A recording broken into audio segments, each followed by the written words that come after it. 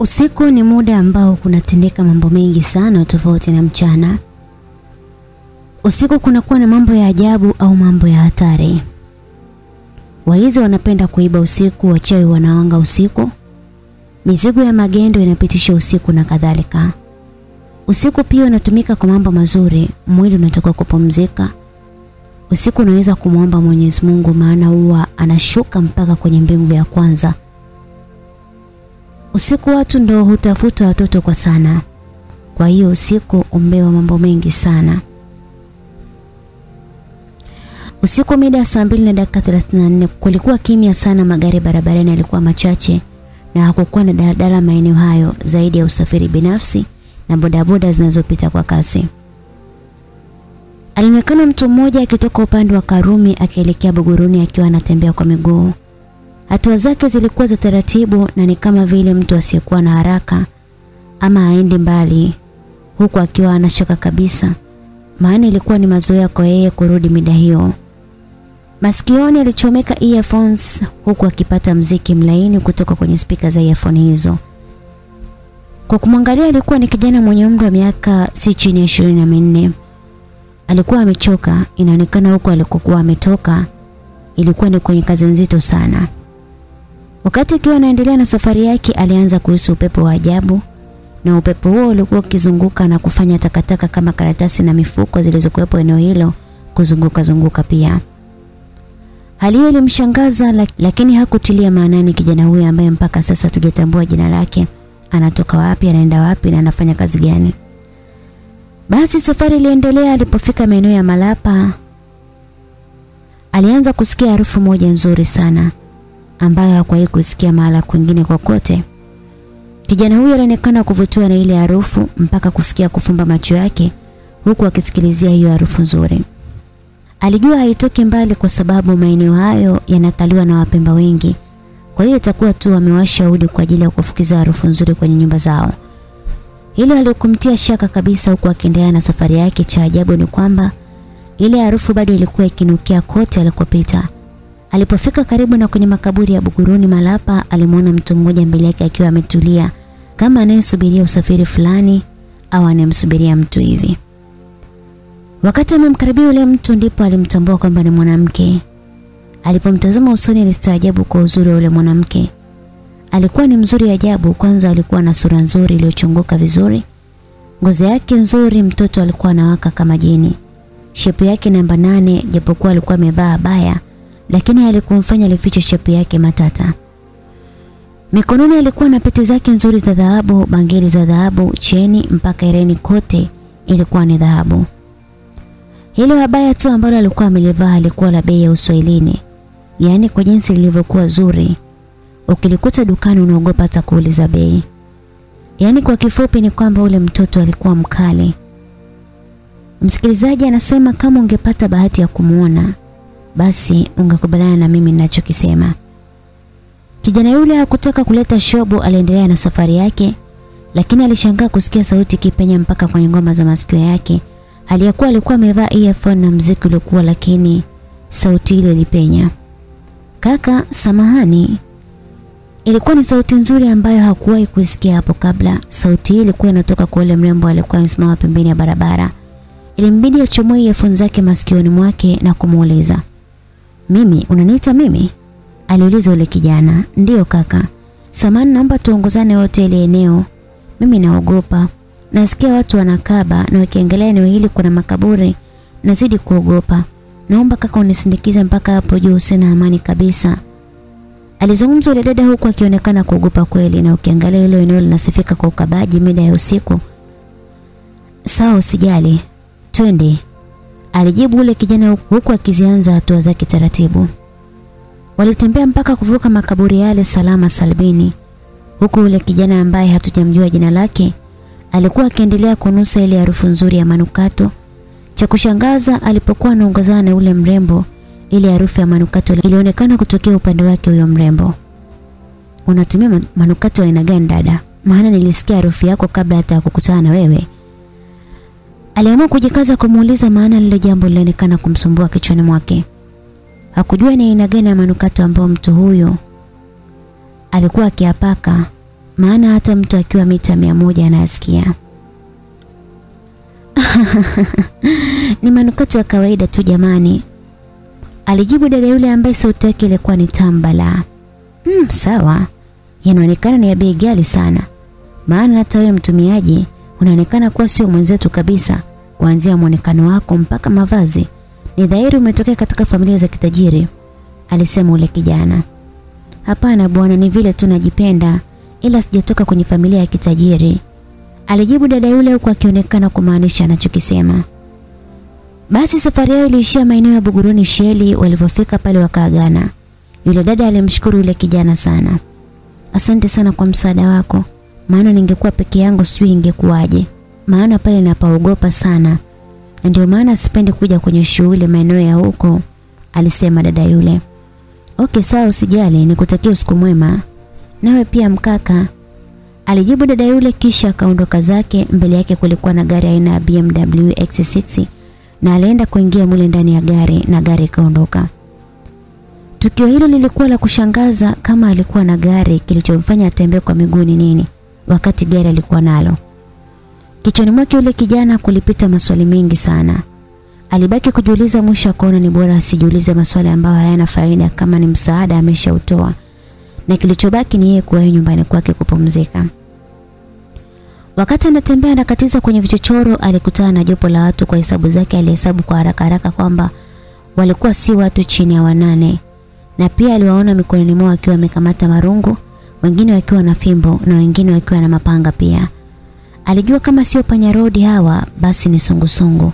Kama ni panyarodi basi hakuna usalama, ataporwa kila kitu na atapigwa. Aliwaza kama ni sungusungu basi wangemkamata maana walishazuia watu kutembea usiku. Akili yake ikamtuma akimbie, kweli ya kutaka kuwaza akakimbia. Basi na wale watu walivyomwona anakimbia wakaanza kumfata. Kimbiza kimbiza na wewe chocho kwa chocho, bahati mbaya ikawa kwake. Akajikwaa na ndipo hapo walimkamata kwanza. Kilichompata hata kuja kusahau maishani mwake. Alikula mashuti sana, wale watu walikuwa wanapiga mateke utasema wametoka sijui depo. Unajua utatukimbia sisi wewe? Alizungumza mmoja wao ambaye alikuwa na lafudhi ya Kikuria. Hapana, nisameni jamani. Yule kijana alikuwa akiomba msamaha. Walimpiga mashuti ya kumtoa wengi kisha wakamuinua.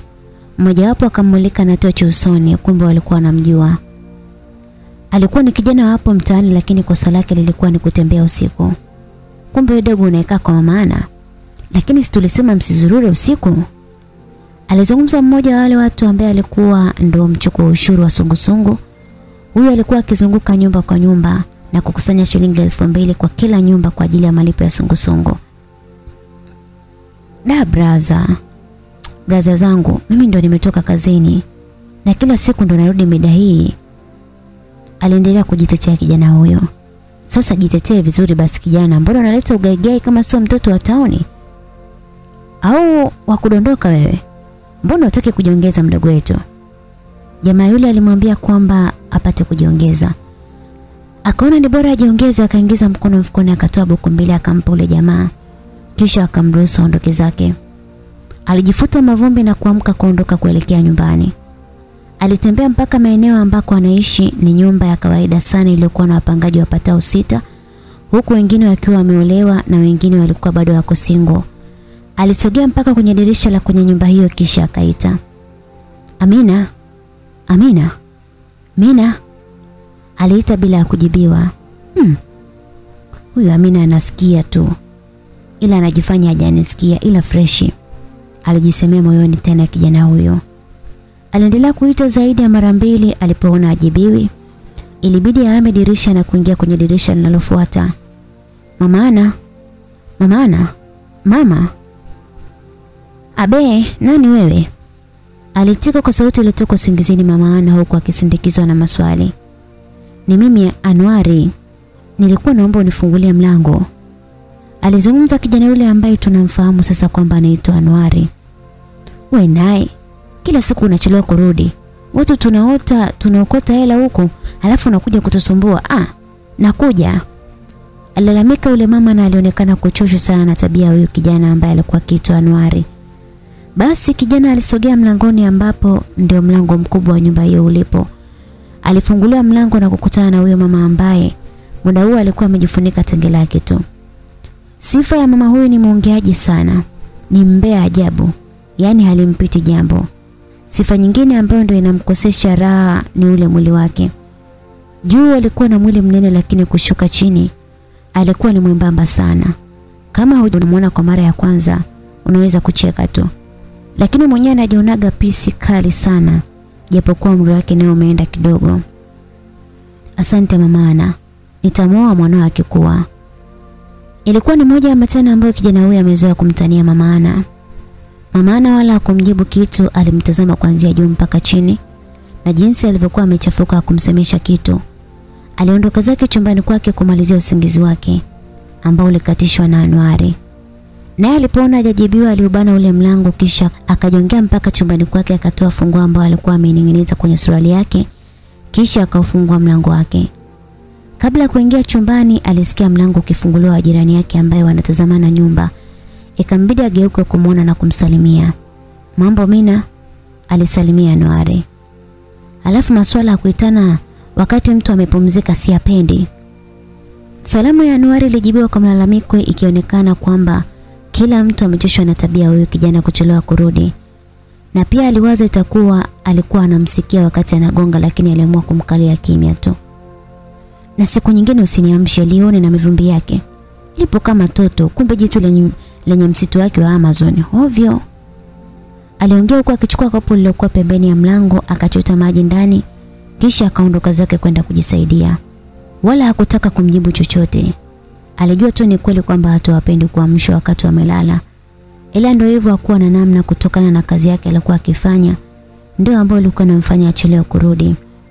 Aliingia ndani na kuvua nguo zake kisha akaingiza mkono katika mfuko wa suruali yake ya jinsi, akachomoa noti kadhaa akizihesabu na kukuta ni shilingi 5000.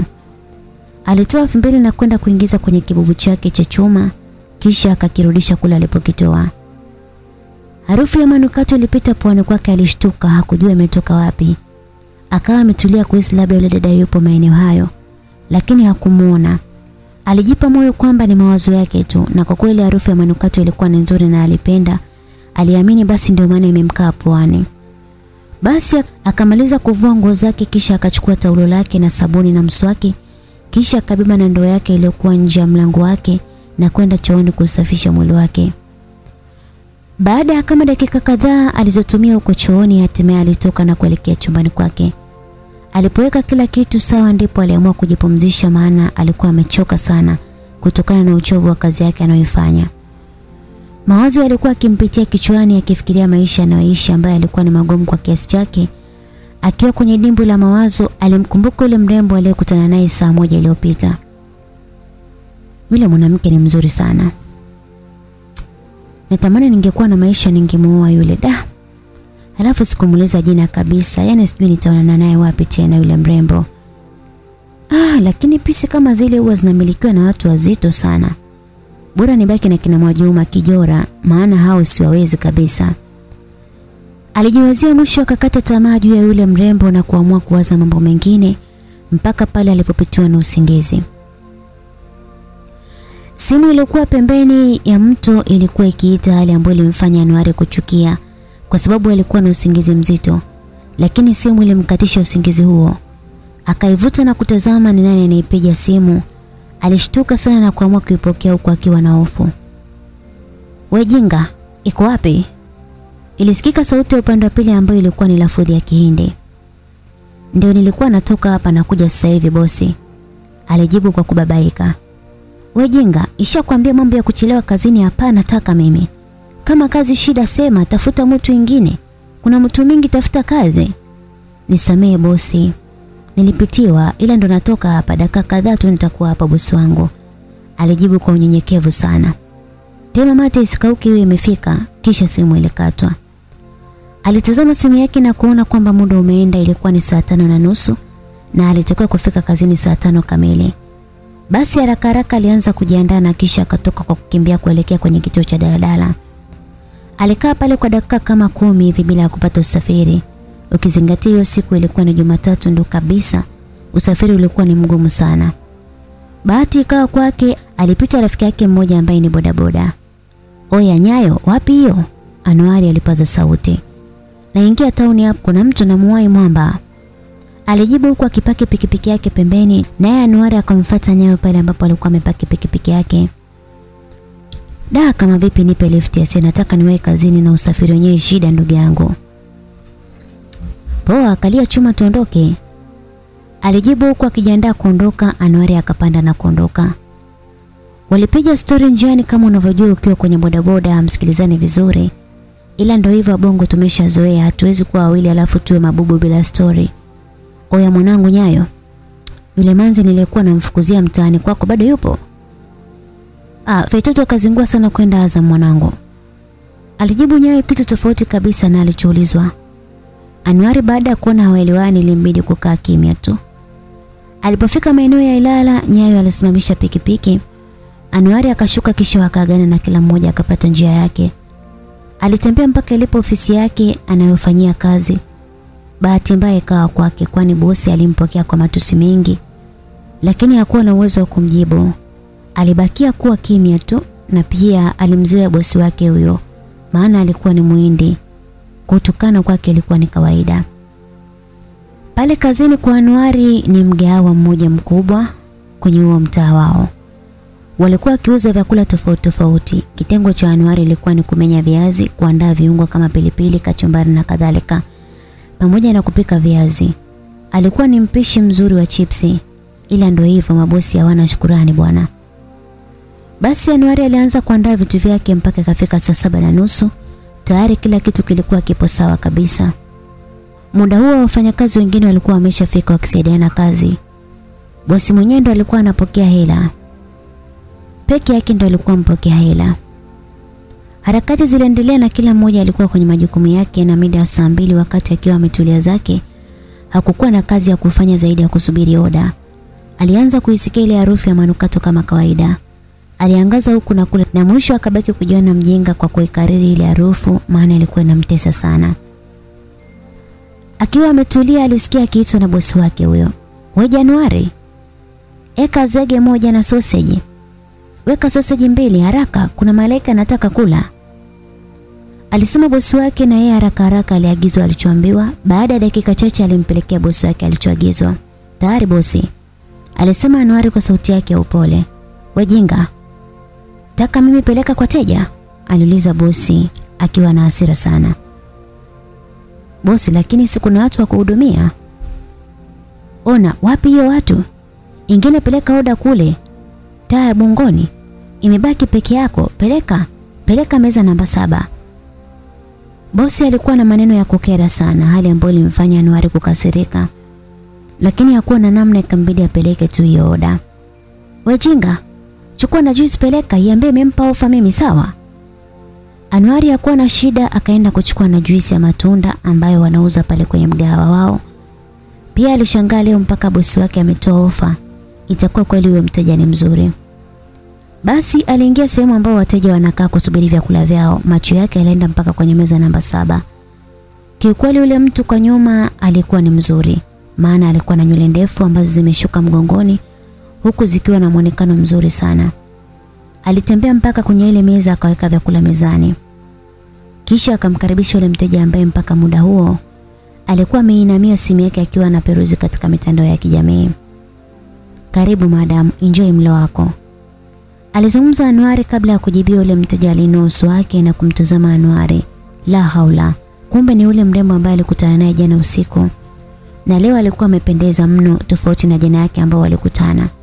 Yule mrembo aliacha tabasamu zito lilomchanganya Anuari huku akiwa ameduaa. Hakuamini kama angekutana na yule mrembo tena.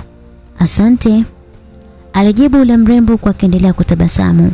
Anuari akiwa amebaki kuduaa alishtuliwa na sauti ya bosi wake ambaye kila akisikia huwa haina amani zaidi ya lawama tu. Waje Januari, fanya nini hapo? Kazi iko mingi huko. Iko shangaa shangaa tu. Haraka sana toka huko, endelea na kazi. Watu waliokuwa mule mgawani walimuonea huruma huyo kijana anaambiwa hivyo na wateja baadhi walikuwa wakijua tabia ya mmiliki wa mgawa huo. Basi Anuari akaondoka zake na kuendelea na kazi yake tu. Kazi ziliendelea mpaka kufikia muda wa kufunga, walikaa wakapiga stori na bosi wake. Cha ajabu siku hiyo mauzo yalipungua, hali ambayo ilimpelekea Mwindi kuchanganyikiwa kutokana na kwamba alikuwa anauza na kupokea hela vizuri, lakini shida karibia laki mbili zilikuwa zionekane. Leo pata hasara sana. Leo hakuna posho. Itabidi ipate nauli kila mmoja, sawa? Ah bosi, kazi sisi tumefanya vizuri tu. Shida ipo kwako. Wewe ukumbuke ni wapi uliziweka hela. Na utugee posho zetu kila mtu akapumzike. Usijifanye umepagawa bwana. Sisi wenyewe hatuelewi. Aliongea mmoja wa wafanyakazi waliokuwepo pale ambao wanajulikana kwa jina la Maego. Huyu alikuwa hataki masiara kabisa. Lakini kilichomkuta alijuta kufungua mdomo wake. Weka nani sema hivyo pangia mimi fanya nini? Isikilize kwa makini. Kuanzia leo isionekane kwa mgawa yangu. Ikileta pua yako piga simu polisi peleka jela. sinajifanya inajifanya na domo mingi. Alisema bosi huyo kwa ghadhabu na kuamua kumfukuza yule mfanyakazi mwenzetu tena bila hata kumpa nauli.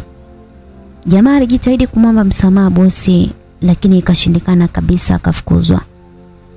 Baada ya kila mmoja kukubali kupewa nauli walifunga mgahawa wao na kila mmoja alienda anapoishi. Anwar alitoka zake kama kawaida wakati wa kurudi huwa anatembea kwa miguu mpaka nyumbani kwake ambako amepanga. Njiani alikutana na rafiki yake yule yule Maengo ambaye alifukuzwa kazi muda mchache uliopita. Pole Maengo. Yule bosi jao sana. Anwari alimpa pole rafiki yake huyo. Da, shukrani kaka, nishapoa. Maengo alijibu kwa uzoni sana. Baridi, basi mimi mdogo mdogo hapa mpaka mtaani kwangu. Sema nini mwanangu?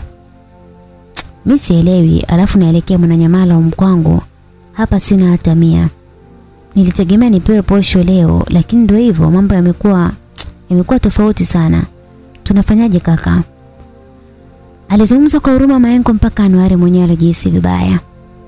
Aliingiza mkono mfukoni na kutoa buku ambayo alikuwa amepewa na bosi wao kama nauli ya siku hiyo. Kisha akamkabidhi rafiki yake. Mayengo alimshukuru Anuari kwa nauli aliyompa na punde likapita daladala linaloelekea anapoishi.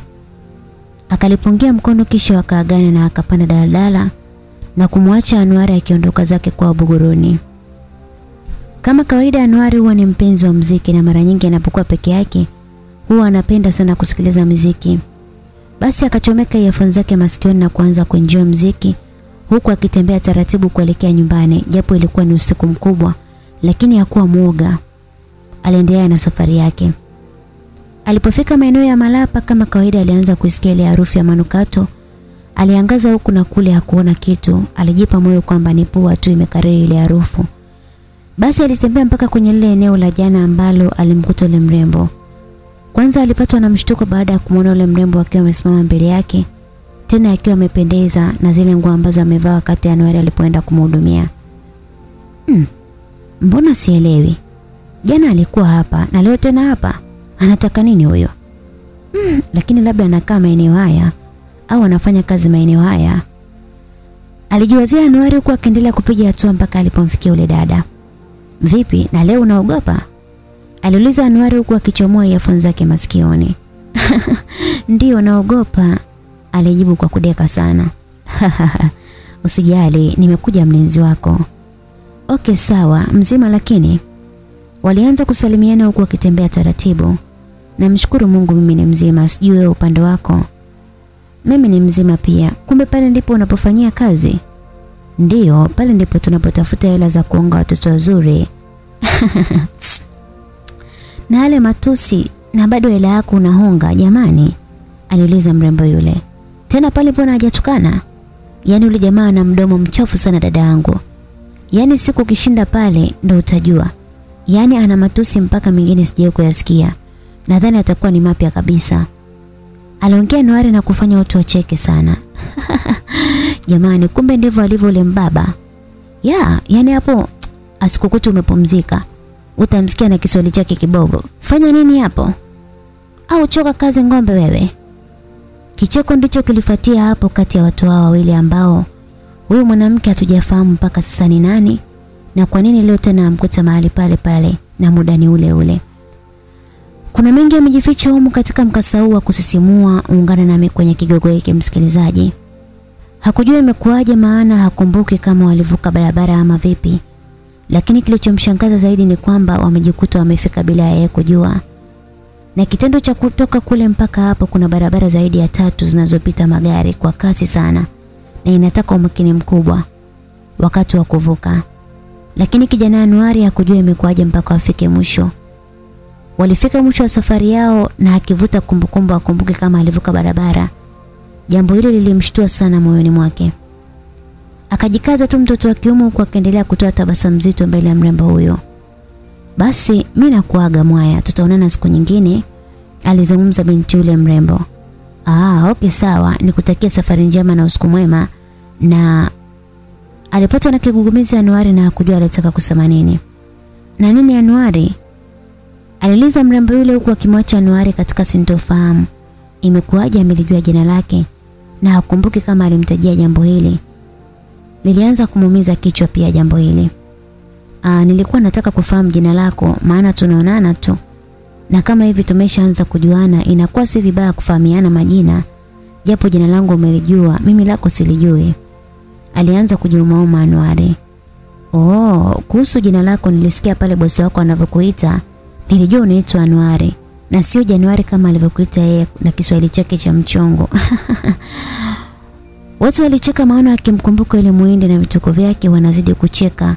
Hali ambayo iliwafanya wasahau walichokuwa nakizungumza na mwisho wa siku akaagana bila Anuari kutajua jina la ule mrembo. Kama kawaida yule dada alipanda kwenye gari ile ile ya jana ambayo ilimchukua. Anuari anakuja kukumbuka kama hajatajua jina, alikuwa kashakaribia nyumbani tena ndipo akili yake inashtuka. Alijiona ni mjinga sana kwa kutokumjua tena na leo na pia kutokupata namba yake ya simu. Alijipa moyo kwamba angeonana naye tena pale kazini kwake na alipania sana siku inayofuata amvizie ili apate kwenda kumhudumia tena kesho yake. Alitaka kuona kimbele mbele ama kweli penzi huanza kijenga sana. Kimbembe kimeanza kwamba anakumbuka watu wa nyumba anayoishi wamechoka kumfungulia mlango. Leo ataingiaje na ameshakuwa usiku mnene saa tisa na zake. Alimwaza Amina akakumbuka kile ambacho alipewa na Amina usiku wa jana yake. Akamtoa mawazuni akamweka mama Amina naye amechoka pia. Akamfuta kwenye akili yake akawakumbuka wapangaji wengine ambao bado alikuwa hajapata mtu ambaye anaweza kumfungulia. Aliwaza na kuwazua lakini hakupata jibu, akaona atapata jibu akiwa amefika pale. Alijongea taratibu mpaka kwenye ile nyumba, muda huo mtaa ulikuwa kimya. Yaani hakukuwa na mtu hata mmoja mtaani zaidi yake. Na mapaka ambayo alikuwa analinda mtaa, inasadikika mtaani kwao kuna paka ambaye ana ukubwa wa mbuzi. Na watu waliokuwa wanarudi usiku wameshawahi kumuona kama wanavyodai. Hizo ni story tu lakini hazina ukweli maana ni watu wachache tu ambao walisema kwamba wameshawahi kumuona. Huko kwenye nyumba anayokaa Nuari anaonekana Amina akiwa ameshtuka kutoka usingizini. Alikuwa anajiona akitembea bila ya kujelewa kabisa. Mwenyewe alikuwa anaona ni ndoto lakini haikuwa hivyo. Hii ilikuwa ni kweli kabisa. Alitoka chumbani kwake na kwenda kwenye mlango wa kutokea nje kabisa akaufungua na kukutana na Anwari. Bila kumwongelesha kitu akaondoka zake kurudi alikotoka na kwenda kuendelea na usingizi. Tukio hilo lilimshangaza Anuari, hakujua imekuwaje mpaka Amina alijua kwamba yuko pale nje na anatafuta njia ya kuingia ndani. Kinachomchanganya zaidi imekuwaje hajamwongelesha au amenuna. Na kama angenuna basi asingefungua angekaa kimya tu kama jana. Kilichobaki ni kumshukuru Mungu hawajajibizana, akaingia ndani na kufunga mlango, akaelekea chumbani kwake. Huko ndani alipofika kupoteza muda alipofika alikwenda kujisafisha mwili wake kama kawaida. Hufanya hivyo kabla ya kulala na siku hiyo aliamua kutia udhu kwa ajili ya kumwomba Mungu amfungulie riziki zake na mambo yake yazidi kuwa mazuri pia. Basi alirudi chumbani kwake alichukua mswala ambao alipewa na mama yake wakati anakuja mjini kutafuta maisha.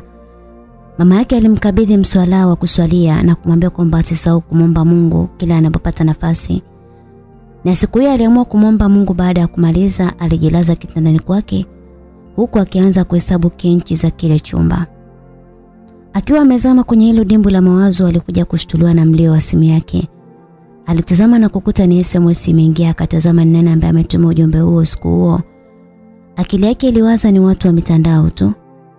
Hapo tasikia tatumzuka mara nguvu ya buku na kadhalika lakini haikuwa hivyo.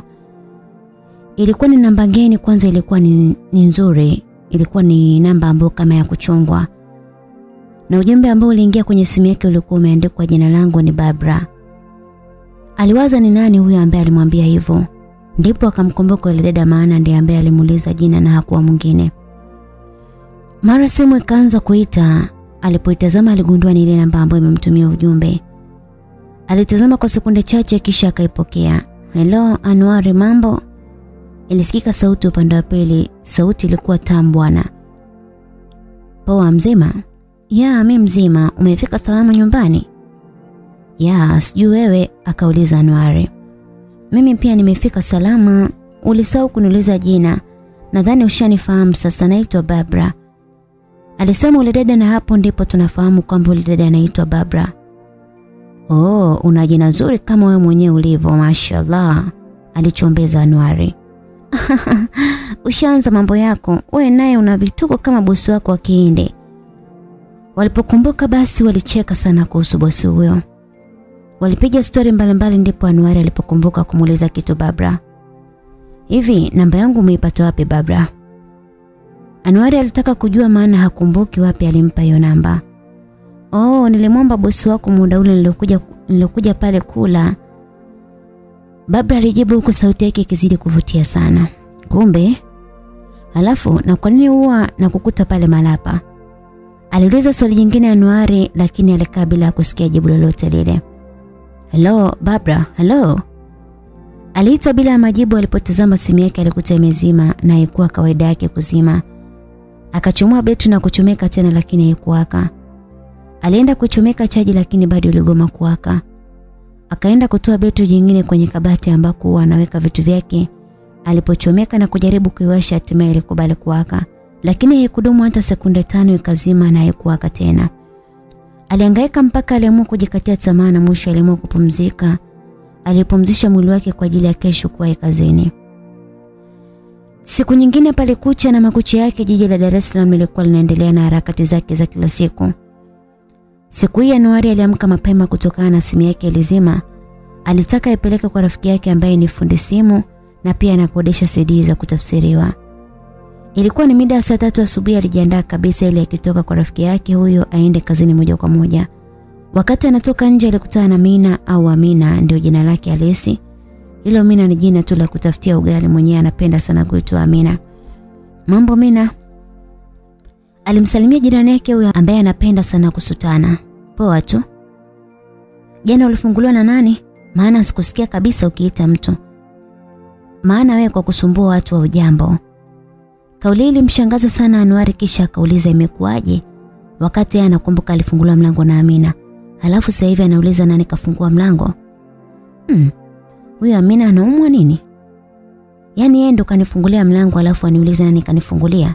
Hapana kwa kweli, aliwaza Anwari. Mlango si wewe jamani? Alimjibu kwa mshangao sana. Unaota wewe. Yaani mimi nikufungulia wewe mlango? Sahau. Sitokuja kuinua kwa tu zangu kuja kwa kufungulia mlango abadani aslani. Alizungumza Amina huku akiondoka zake na kumwacha Anwari pale mlangoni akiwa amebaki kwenye mshangao. Anwari alifunga mlango wake na kuamua kuondoka maana mtu ambaye alikuwa anabishana naye ameondoka na yeye hakuwa na sababu ya kubaki ikambidi aondoke. Alifika kwa rafiki yake huyo anayeuza CD pamoja na kutengeneza simu mbovu. Alipofika pale alimkuta yupo na mteja ambaye alikuwa anaingiza tamthilia kwenye flashi. Vipi Chidi? Kipaji kama kawa? Anuari alimsalimia rafiki yake ambaye muda huo alikuwa bize na mteja wake. Fresh mwanangu uonekani kaka. Ah kaka, si unajua harakati zangu sasa hivi zinanibana sana. Usiwaze mwanangu, nipange kaka. E bwana, kimeo changu hiki kimezima ghafla jana, yani kiligoma kabisa kuwaka. Kila nikichomeka betri ngoma baadaye wake. Alimuelezea tatizo lake ambalo limemleta huku akimkabidhi ile simu yake ya Tecno ya button. Okay, ngoja basi njaribu ile beti langu labda mabeti yako ni mabovu.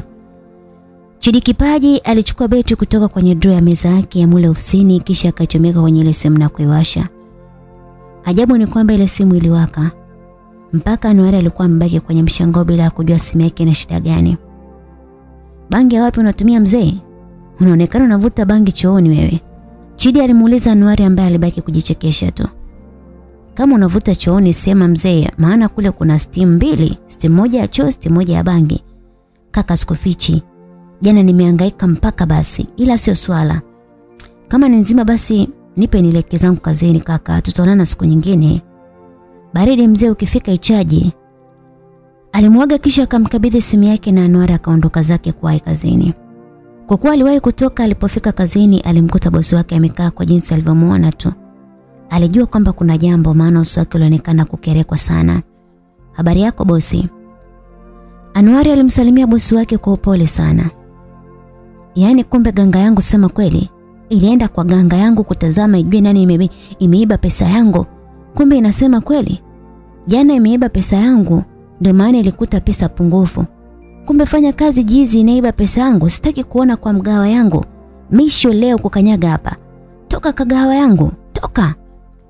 Basi Mwindi alikuwa anafoka kakimfukuza Anuari ambaye mpaka sasa hajajua kosa lake ni lipi mpaka kufikia kufukuzwa kazi na pia alikuwa na sehemu nyingine ya kupata kazi. Alifikiria jinsi alivyohangaika miezi nane bila kuwa na kazi mpaka amefanikiwa kupata kazi ambayo hata miezi minne haijafika kibaya zaidi. Hajui sababu yeye kufukuzwa kazi ingawa bosi wake amesema kwamba ameenda kwa mganga kwa ajili ya kujua ni nani aliiba pesa zake na jana ameambiwa kwamba ni yeye ambaye aliiba pesa. Hatujui imekuwaje mpaka ajulikane yeye ameiba ikiwa sisi tunajua kabisa hajaiba. Kitendo kile kilimuumiza sana Anwari japo alijitetea lakini ilikuwa ni kazi bure tu maana Muhindi leo alikuwa kachechamaa. Hasikila muadhini wala la mnadi. Alikuwa anataka kijana Anwari aondoke kwa sababu amemwibia pesa zake. Anwari aliona riziki yake imeishia hapo, alimshukuru Mungu tu maana hakukuwa na jambo nyingine zaidi ya kuondoka na kurudi nyumbani kwake. Njiani alikuwa na mawazo lukuki mpaka kufikia kukosa kugongwa na gari tena mara mbili. Mara ya kwanza dereva alikuwa mkimya lakini huyu dereva wa pili alimtupia maneno makali sana. We dogo vipi? Unajiachia rodi kama ya babako? Unatafuta bwana au? Mtoto wa rere nini? Unamwekea nani sura huzuni? Kila mtu ana mambo yake kichwani. Kuwa makini dogo utakufa. Dereva huyo aliporomosha maneno bila ya kupumzika kisha akatia gia na kuondoka zake. Huku akimwacha Anwari anamwangalia tu pasi na kumjibu chochote. Anwari hakutaka kuleta ugomvi aliondoka zake mpaka nyumbani na huku alikaribishwa na mama Chogo ambaye alikuwa anakaa chumba kinachofuatia. Vipi mwenzetu leo? Mbona mapema au na usingizi? Maana hatujai kukuona ukiingiza mwanamke. Mama Chogo huyu naye alikuwa mwongeaji kama mama Ana, lakini hata hajajibiwa aliingilia kati ya Amina. Amtole wapi huyo mwanamke? Wewe uone muda anaotumiaga bafuni. Kila siku ananunua sabuni huyo mwenzetu sijui anazitafuna. Kaka fanya uoe bwana. Yaani huko chooni ukiingia unapokelewa na vilio vya watoto wake. Aliongeza Amina. Anwari aliwatazama wale watu bila kuwajibu kisha akaingia chumbani kwake huku akiwaacha wakina mama Chog na mwenzake Amina wakigonga mikono yao huku akipiga kelele za umbea. Halo, na uoe mwaka huu. Alifikia kwenye kitanda chake huko mawazo akiwa yanamzonga kichwani mwake. Maisha magumu na huku hana kazi alizidi kupagawa kijana wa watu. Laiti ungebahatika kumwona alivyokuwa akitia huruma. Hakuwa na furaha hata kidogo. Kichwa kilijawa mawazo likitoka ile linaingia hili. Kitu kilichokuja kumsaidia kutoka kwenye dembo la mawazo ni simu yake ambayo ilianza kuita. Alipoitazama nani ambaye alikuwa akipiga ndipo akamkumbuka Barbara. Kumbe tangu asubuhi hakumtafuta na ukijumlisha mkasa wa kazini kwake ndo amezidi kumsahau kabisa. Aliitazama huku akijishauri apokee ama vipi maana alikuwa ajisikia kabisa kuongea na mtu. Simu iliita mpaka ikakata baada ya dakika moja ilianza kuita tena. Ni mpigaji alikuwa ni yule ule mrembo Barbara. Na sasa aliamua kumpokelea simu ile kuondoa usumbufu lakini alichokutana nacho kilimuondolea machungu yote ambayo alipitia siku ya leo. Sauti ya yule mwanamke ilikuwa ni kama sauti nzuri inayomtoa simba porini na kuja uraiani kunyeshwa kahawa. Sauti ya huyu mrembo ilikuwa ni kama dawa iliyokuja kumponya kijana Anwar. Hello Anwar, assalamu alaikum, alisalimia mrembo yule. Wa alaikum salam, vipi hali yako za tangu jana? Mimi mzima, naona nakupigia jana ile nikawa sikupate hewani, shida nini? Ah, simu yangu ilisha chaji ndio maana ukunipata. Okay, sawa, nitakuja baadaye kupata chakula cha usiku kazini kwako. Hapo ndipo alipotonisha kidonda cha Anuari. Kilipita kimya cha sekunde kama kumi na ndipo Barbara akaamua kumwita Anuari. Halo Anuari, mbona upo kimya? Ah, Hapana dada, samani, leo sipo ofisini. Oh, umepumzika au? Hapana dada. Kuna mambo tu yametokea ofisini, bosi akaamua kunisimamisha kazi kwa muda. Naamini atanirudisha. Ilibidi adanganye na hakutaka kusema ukweli kama amefukuzwa kazi. Oh, jamani pole wangu, ndio maisha. Kwa hiyo uko wapi sasa hivi? Ah, niko nyumbani hapa nimepumzika kwanza huko nikiwaza kipi cha kufanya. Okay, sawa. Basi nitakuja jioni kukuona. Kisha nitakutoa chakula cha usiku leo, kwa hiyo kuwa na amani, alizungumza Barbara. Mm, okay sawa. Ukifika utaniambia basi nije barabarani maana huku utapotea. sawa usijali, ila ningependa nipajue unapoishi kwa hiyo utanielekeza tu, nina imani sitopotea. Kwa kuwa Barbara aling'ang'ania kuja basi Anuari hakuwa mbishi. Wakakubaliana baadaye akija atamwelekeza kisha wakakatiana simu. Barbara alimwachia maswali mengi sana Anwari. Huyu mrembo mbona anaonekana ananielewa na nilivyokuwa sina hela. Sinitateseka mwaka huu. Ah, nimekumbuka. Kumbe nina kibubu. Hem ngoja leo nikivunje kisha nikanue pamba. Maana mtoto mkale akija alafu anikute nina maronyaronya yangu haya. Sio kweli. Nitatoa boko. Anwari alitoka kitandani na kwenda chini ya uvungu akatoa nyundo kisha akaenda juu ya kabati ambako wanaficha kibubu chake akakitoa kisha akaanza kuigonga gonga ili kijiachie maana kilikuwa cha chuma. Alihangaika pale kama dakika tano hivi na hatimaye kikakubali kufunguka. Lakini alichokutana nacho ndani mule alijuta kwa nini aliweka mule hela zake. Kibubu kilikuwa cheupe ikiwa mwenyewe alikuwa anaweka hela zake kila siku na ni jana tu ndio siku ambayo kuweka hela. Jambo hili likazidi kumtia mawazo mpaka kufikia hatua ya kulia maana ndo alikuwa anategemea zile hela alizokuwa anazihifadhi zingemsaidia kipindi hiki na hivyo alivyokuwa ana kazi alizidi kuumia. Wakati akiwa amekaa akiwaza mambo yake, hapo hapo sauti ilisikika ikitokea nje na sauti hiyo alijua vema. Ehe, halo, karibu mjini, sie ndo wenye mji. Ilisikika sauti ya mama Ana ambaye alikuwa mmiliki wa hiyo nyumba ambayo Anuari amepanga. Mawazo yalikuwa lukuki kichwani mwake. Akiwaza pa kupata kazi. Hali hiyo ilimdhoofisha kwa kiasi fulani, ungemwona ungesema kwamba huyu mtu ni mgonjwa. Alidumu katika dimbwi lile la mawazo mpaka kufikia kupetea na usingizi. Upepo mwanana uliokuwa ukimpiga kijana Anuari akiwa kifua wazi pembeni yake kulikuwa na mwanamke mmoja mrembo sana. Laiti ungepata nafasi ya kukutana naye, ungesema kweli ninayokueleza msikilizaji sidanganye. Mrembo huyo alikuwa katika vazi fulani jepesi la kulalia ama la kuvalia bichi. Alikuwa amevaa sidiria yake kwa ajili ya kuficha maziwa yake mazuri ambayo hayahitaji sidiria. Lakini kwa kuwa alikuwa eneo la bichi, aliamua kuhifadhi ndani maziwa yake mazuri. Kiunoni kwa ndani kulikuwa na nguo moja ya ndani aina ya bikini ikiwa imemkaa vyema mrembo huyo. Juu yake alivalia mtandio wa pinki ili kuhifadhi maeneo yake ya ikulu licha ya mtandio wa kuhifadhi lakini ilikuwa ni kazi bure kwani kila kitu kilionekana ambacho kilivaliwa ndani. Juu kabisa alivalia shanga zake zilizopambwa vizuri na mawe ya kumetameta mithili ya lulu. Ama kweli kuna wanawake warembo wenye kujua miili yao inahitaji nini kwa muda ule. Chini alikuwa amejichora piko miguuni mwake kisha alisindikiza na urembo wetu wa Kiafrika vikuku viwili viwili kwa kila mguu. Umependeza mke wangu. Sauti nzito aliyoitoa Anuari ilimfanya mwanamke aliyekuwa pembeni yake atabasamu. Kawaida na pia ni jukumu langu kujiweka katika mwonekano mzuri hasa nikiwa na wewe. Kwani hakuna mwingine anayepaswa kuona uzuri wangu isipokuwa wewe mwanaume wa ndoto zangu, alizungumza Barbara. Najivunia kuwa na wewe, unanifanya nijihisi mfalme kwenye huu ulimwengu. Usijali, utakuwa mfalme kwenye ulimwengu wetu sisi. Nakupenda sana Barbara. Nakupenda pia Anuari. Wakasogeleana na kuanza kunyonyana lipsi zao kama njiwa manga. Ghafla alianza kusikia kelele kama za kengele zikigonga masikoni mwake. Alikasirika na kuuputa mkono wake mpaka ilipo iko kitu ambacho kilikuwa kikipiga kelele. Ndipo alipogundua kwamba simu yake inaita, alijitazama sehemu iliyopo. Ni pale pale geto kwake na hakukuwa na mtu yoyote pembeni yake. Alijitazama sehemu aliyopo yeye ilikuwa ni pale pale geto kwake na hakukuwa na mtu yoyote pembeni yake. Akaitazama simu na kuona mpigaji alikuwa ni Barbara. Ni yeye ndiye alikuwa akipiga na akakumbuka ndoto ile ilivyokuwa tamu akapokea simu na kuweka sikioni mwake. Halo. mbona unachelewa kupokea simu au upo na wifi? Aliuliza Barbara kwa sauti ya kudeka sana. Hapana dada, nilikuwa nimelala. Niambie mama. Ndio nataka kuja, nielekeze basi nikufate.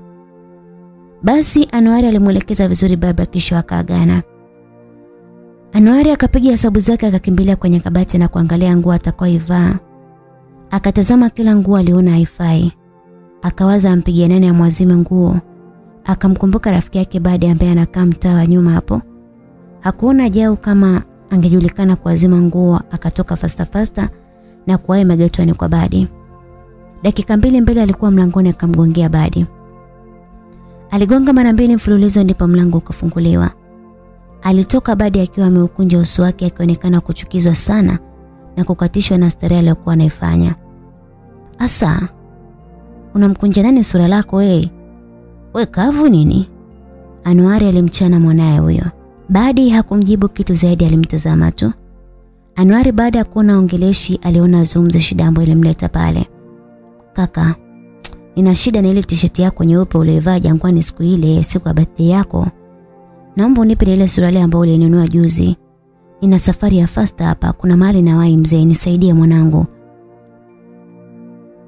Badi alizama ndani kwake akatoa vitu ambavyo aliombwa kisha akamkabidhi rafiki yake. Angalizo, nilivyokupa ndivyo virudi vile vile. Sasa ule wako uende huko tofauti. Kariakoo unapajua nadhani. Utaniletea nguo zangu mpya. Alimaliza kuongea Badi na kurudi chumbani kwake kisha kabana mlango. Haraka sana aligeuza kuwahi nyumbani, ndani ya dakika chache alikuwa ndani ya chumba chake. Akaziweka zile nguo juu ya kitanda chake kisha akaondoka tena kwa spidi ile ile mpaka nyumba ya tatu kutoka alipokuwa anaishi. Akaingia mpaka ndani kwenye chumba cha uani huko akakutana na watu kama saba hivi wakiwa wanavuta bangi huku akisikiliza mziki. Aliwapa tano kisha akamfuata alikuwa mdogo kuliko wote hapo na akamvuta pembeni waongee jambo. Vipi mdogo wangu Kiwei kama kawa? Hapo wenyewe poa tu braza alijibu Kiwei. Mdogo wangu nina kipengele hapa. Shemeji yako anakuja home. Sina hata mia mfukoni. Ni save basi bukuteni inilinde usiku wa leo. Alafu kesho nitakulipa mdogo wangu. Anuari alimwomba dogo Kiwei kiasi cha hela lakini hajui kama atairudisha ama atairudisha lini ukizingatia ana kazi. Usiwaze brother. Ila usiniaishe bwana. Alijibu Kiwei huku akizamisha mkono wake mfukoni. Akatoa noti moja ya elfu tano na bukubuku tano kisha akamkabidhi Anuari. Da, umetisha sana mdogo wangu. Sasa nifusie vitu vile nikavute mtaani maana nina kama siku mbili sijavuta bangi mdogo wangu. Anuari kumbe bwana alikuwa ni mtumiaji wa bangi. Baridi brother. Alimjibu huku akienda alipoficha bangi hizo na kumkabidhi Anuari. Kisha wakaagana na kuondoka zake spidi mpaka chumbani kwake. Alifika kisha akavua nguo zake na kwenda chooni kusafisha mwili wake. Wakati anarudi kabla hajafungua mlango alisikia simu yake inaita. Alijua kwamba mgeni wake ameshafika. Kabla hajafungua mlango alikutana na mama Ana ambaye ndiye mama mwenye nyumba. Alikuwa anaingia ndani huku akiwa ameshika bakuli la supu ya miguu ya kuku na utumbo. We mwana, umeme zamu yako na imebaki uniti moja tu. Fanya mpango unipe hela, tusije kulala giza humu. Alizungumza mama yule huku akikuna kichwa chake ambacho kimetawaliwa na nywele mbaya sana zisizokuwa na matunzo. Lakini Amina si alikupa hela juzi tu elfu kumi. Ina maana umeme wa hela hiyo haufiki hata wiki? Aliuliza Anuari ambaye bado alikuwa ameshika ndoo yake na sabuni huku akiwa amejifunga taulo lake ambalo lilianza kupoteza rangi yake halisi. We kijana, unataka tuanze kubishana sasa? Nenda kaangalia zimbaki uniti ngapi? Alimjibu kwa kumkaripia maana kijana alikuwa anataka kumpanda kichwani. Haya sawa, mimi natoka ila sitachelewa kurudi, nitanua umeme.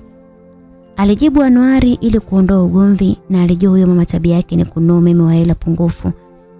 Ili hela anayobaki afanye mambo yake. Anaweza kupewa shilingi elfu kumi akanunua umeme wa elfu saba tu. Kisha anabakisha elfu tatu anapeleka kwenye vikoba. Ama ndo hela yake ya kula mchana. Nadhani utaratibu unaojua. Mimi ndio nanunua umeme humu. Kwa hiyo ukiisha nitanunua kwa hela yangu, utakuja kunipa. Aliongea kisha akaingia chumbani kwake, Anuari akupoteza muda akaingia chumbani kwake, kisha akaanza kujiandaa.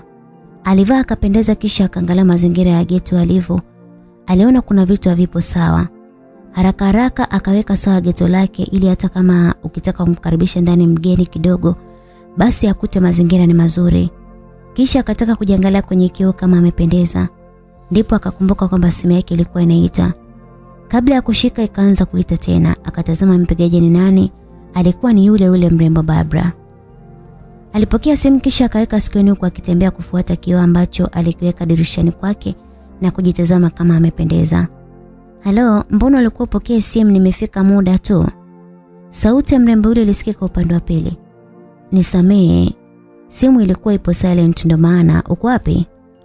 Nipo hapa nje kwenye nyumba ya namba sabini mbili. Nje kuna mama anakaanga nini sijui. Oh, okay sawa nakuja. Nakuja dakika moja. Alikata simu alishajua mgeni wake amefika, akajipulizia perfume yake ambayo alinunua bei kubwa sana, elfu maeneo ya Kariakoo. Kisha akatoka nje ambako alikutana na gari ile ile ambayo alikuwa akipanda maeneo ya Buguruni Sheli. Majirani walikuwa wameshaanza kutoa macho kama unavyojua maisha ya Uswahilini. Mwizi anaweza akaiba saa saba mchana jua kali tena kwa upepe lakini usimuone. Lakini ukiingiza mwanamke hata saa tisa za usiku kabla jogoo hajawika, taarifa zako zinakuwa zimeshaenea mtaa mzima. Anwari alitembea mpaka kwenye mlango wa dereva, alipofika kioo kikashushwa. Na hapo ndipo watu wa Uswahilini hapo walionekana wambea. Kwani kila mtu alichungulia ili amuone aliyekuwa ndani ya gari, lakini kila aliyebatika kumuona alikiri kwamba ule mwanamke alikuwa ni mzuri. Anuari mwenyewe ambaye haikuwa mara yake ya kwanza kumuona alibaki kumshangaa huyu mrembo. Maana kila akionana naye alikuwa anazidi kuwa mrembo tu. Kwa kizungu tunasema kwamba anajiupdate. Hakika Mungu alimpendelea sana katika kumuomba huyu mrembo Barbara. Karibu sana. Anuari aliamua kujikaza kuongea. Asante jamani. Ndio unipeleke ndani niishie umuumu kwenye gari. Aliongea kwa kudeka sana mrembo huyo. Aha, karibu mpaka ndani. Alimkaribisha huku akifungua mlango wa gari hiyo na ni mara yake ya kwanza kushika hilo gari. Tukio hilo lilishuhudiwa na watu mtaani hapo. Aliposhuka Barbara ndipo alipozidi kushangaa kwani alikuwa amependeza ajabu. Hatua za taratibu walizipiga huku watu wakibaki midomo wazi. Mm. Yule kapuku Anuari kampata wapi mwanamke wa Kiarabu kama yule? Mm. Dunia ina mambo hii. Yaani kapata zali kama la Profesa J. Halo. Aliongea mama mmoja ambaye alikuwa anasukwa na mwenzake walikuwa wanawatazama tangia mwanzo wa tukio hilo. Anuari na Babla waliingia ndani ya hiyo nyumba lakini kabla ya kuingia chumbani alionekana Amina akiwa amejifunga mtandio huku akiwa ameshika ndoo yake. Anaonekana ametoka kuoga maana ule mtandio ule mganda vema hali iliyopelekea baadhi ya sehemu zake za mwili kuonekana. Amina mwenyewe alipomwona huyo mwanamke mwenzake alibaki kumshangaa maana hakuwa anamfikia hata kidogo kwa uzuri alionao Babra. Mm, watu na mapenzi yao mjini. Aliongea Amina huku akiingia chumbani kwake. Usijali, ni maisha yetu ya Uswahilini haya. Karibu ndani. Alizungumza Anuari. Babra aliingia ndani na kuonekana kushangaa chumba cha Anuari. Alionekana kama mwenyeji ila hali mwenyeji wake alijua mgeni wake atashangaa lakini ilikuwa tofauti. Karibu ukae. Ukae kitandani maana sina hata stuli. Alizungumza Anwari akijizungusha mule chumbani bila ya kujulikana anatafuta nini. Aa, ni mara chache sana kukuta kiti chumbani kwa mwanaume. Ukiona geto la mwanaume halina kitu, ujue mtego huo. Kauli hiyo ya baba iliwafanya watu wacheke maana ni maneno yanayotrendi sana. Okay mgeni niambie unatumia kinywaji gani? -mm usijali bwana. Hapana, we ni mgeni wangu. Na itakuwa vibaya sana kama utaondoka bila ya mgeni kunipa baraka. Tafadhali niambie unatumia kinywaji gani mrembo? Haya sawa. Niletee Pepsi au Sprite. Okay sawa, naomba unipe dakika moja tu nitakuwa nisharudi. Ili mgeni wangu nisikuache peke yako muda mrefu. Sawa.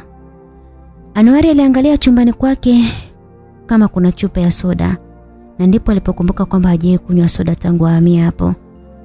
Haraka akatoka chumbani na kwenda mpaka nyumba ambayo inaangaliana na nyumba anayoishi kulikuwa na duka. Huku nyuma aliwacha watu wa mtaani kwake wakimzungumzia. Vipi Mange kama kawa? Oho, Anwari karibu. Asante. Hata kujibu alikatishwa na Mangi. Aisee, yule mtoto wa Kiarabu umemtolea wapi mwanangu? Hapana bwana, ni bosi wangu. Hapana, unataka kutudanganya mtaa mzima? Wasema sema ukweli bwana. Mangi alikuwa mbishi sana. Niamini mwanangu Mangi, Naomba Pepsi ya baridi ila pesa yako nitakupa baadaye. Unaanza sasa mambo yako, madeni yangu ya nyuma hujalipa na bado unataka nikukopeshe tena ise Unataka nirudi Moshi? Mangi alianza kubwata. Ah, Mangi, ndio upige kelele. Kwanza unandai bei gani mpaka upige kelele hivyo ndugu yangu? Na kudai elfu moja na mia saba. Sasa hela hiyo jamani ndio upige kelele Mangi. We nipe baadaye nikitoka na kuzingatia. Mangi alikuwa mpole maana huyu ni rafiki yake, alitoa Pepsi kabla ya kumkabidhi akamuuliza tena. Chupa iko wapi sasa? Acha ugegee Mangi. Leti hiyo Pepsi babu ni wai. Alizungumza anwari huku akivuta chupa ya soda na kuondoka hapo dukani.